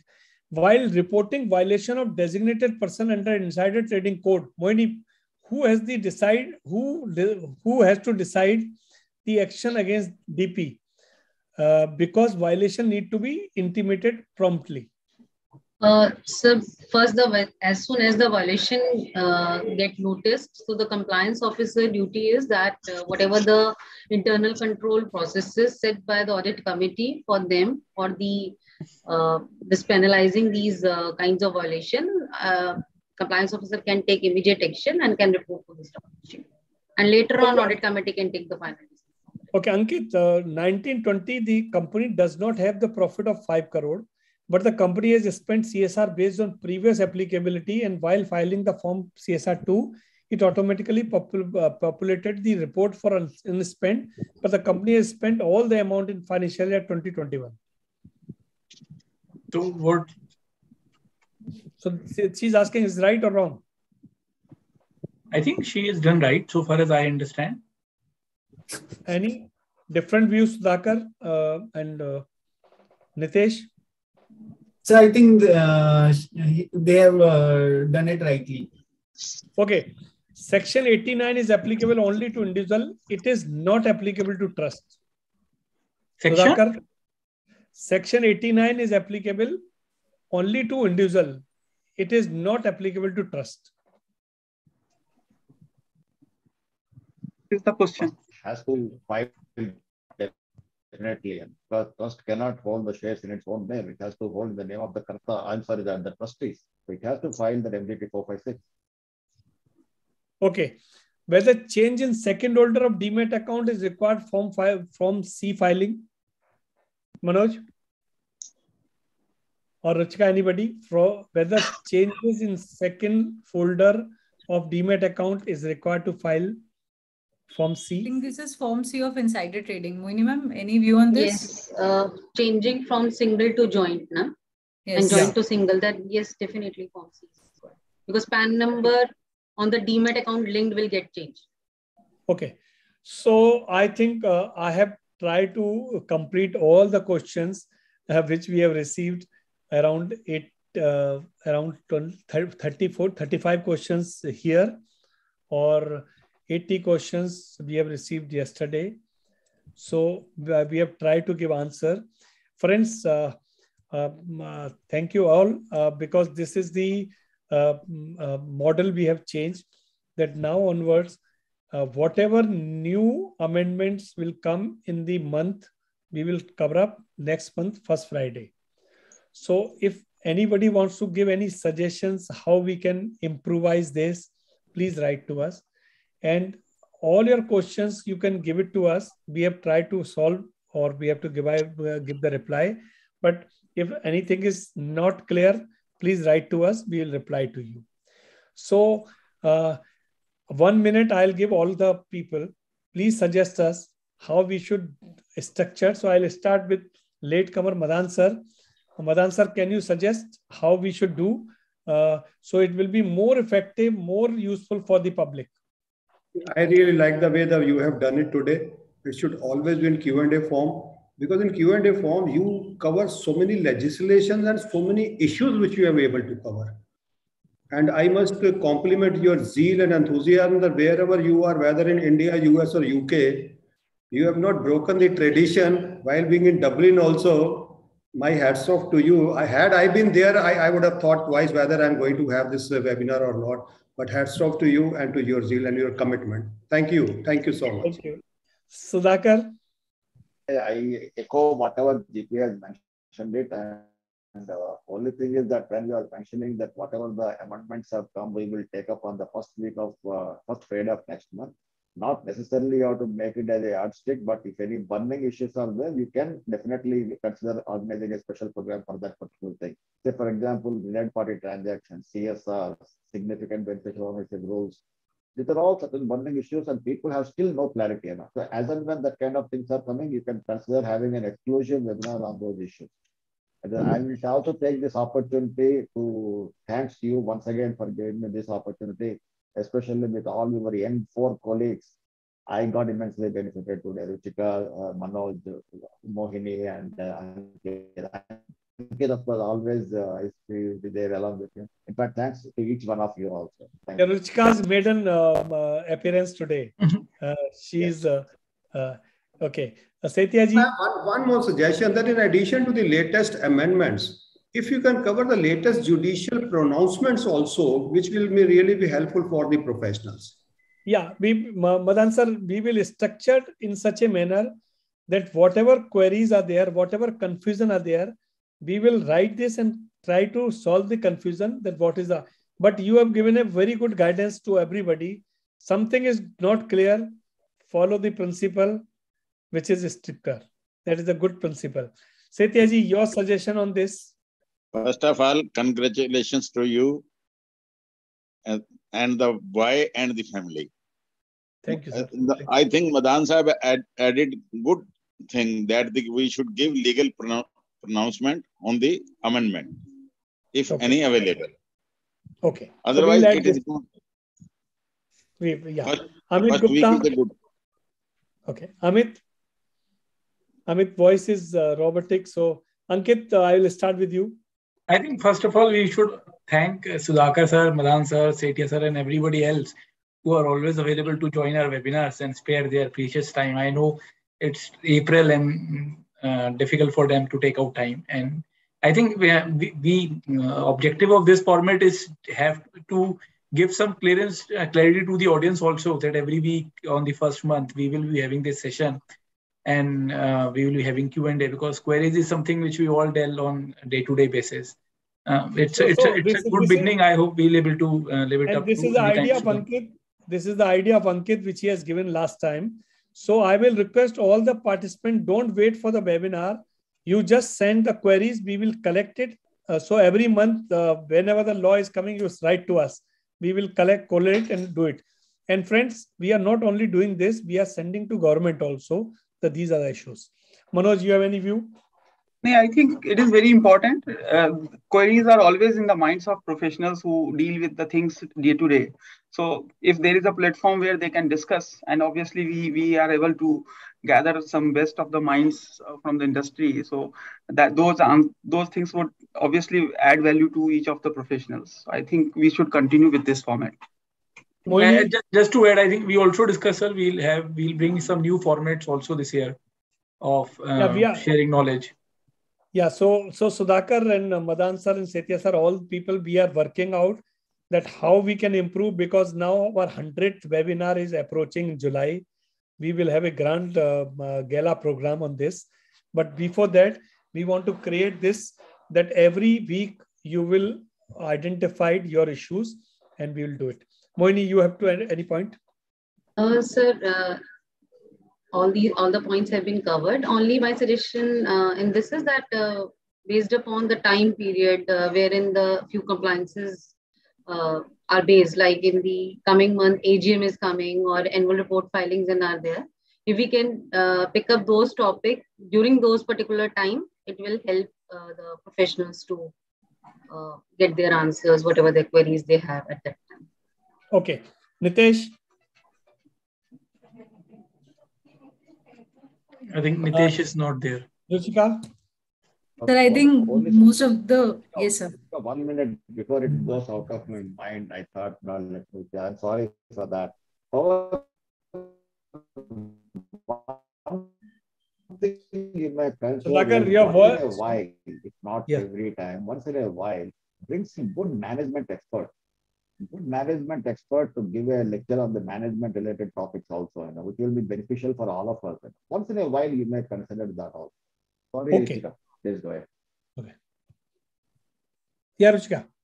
Very good suggestion, sir. I liked it. Although all the points have been covered, and I really like the suggestion of Madan, sir. So I think we should uh, always focus on Q and A, and it should be in a time-bound manner. That is more important. Which I think we we are overshoot by 14 minutes today. But yes, I think we. Yeah, are Madan sir, last word. Actually, yeah, the- when Ankit was uh, sharing his vote of thanks to me and Sudhakar and Setia sir, I think there's no vote of thanks required because we ourselves are also beneficiaries of these webinars. Yeah. When we discuss these questions, we have to have out of box thinking and what can be the practical answer to a particular query. We, we, are, we are also uh, true beneficiaries of these webinars. And secondly, Pavanji, now you, uh, I'm really liking the way you are doing. I'm offering my services to discuss and share at least for 10 to 15 minutes. Maybe if you ask each webinar in each webinar, latest judicial pronouncement under Companies Act, IBC and competition law. Okay, so Madan sir, next uh, webinar, uh, the judicial pronouncement work is uh, in your head. So you can share the questions, uh, the, the case uh, law in advance. Yes. So we no, no, no, not the question, not the question, but what has been decided, what was the issue under the windows, yeah, yeah. and what, what has been decided. Yeah, that's right. So you can share the case law that these are the case law you will cover because the, this has come. So we will we will tell public that these are the cases which are important has come. So thank you very much, all my friends, learned friends, and uh, the dignitaries, and this special thanks to all participants. Uh, despite of overshooting, they are still there.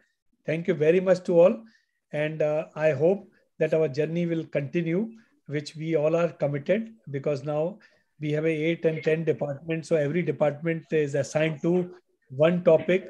So every every two months, uh, they will get one topic like takeover listing, company law, uh, the M&A, insider trading. So they will do. So thank you very much to all. Of you. Thanks, uh, friends, for joining us. Uh, thank you very much. Thank you. Thank you. Thank, thank you. you. Thank you. Thank you, everyone. And 15th, uh, we will meet everybody again uh, next Friday. If it is not holiday, I think uh, the Good Friday is there on 15th. Uh, yes. Yes. Uh, otherwise, we'll meet it uh, on the next next Friday, the same time, 4 o'clock as per Indian time, till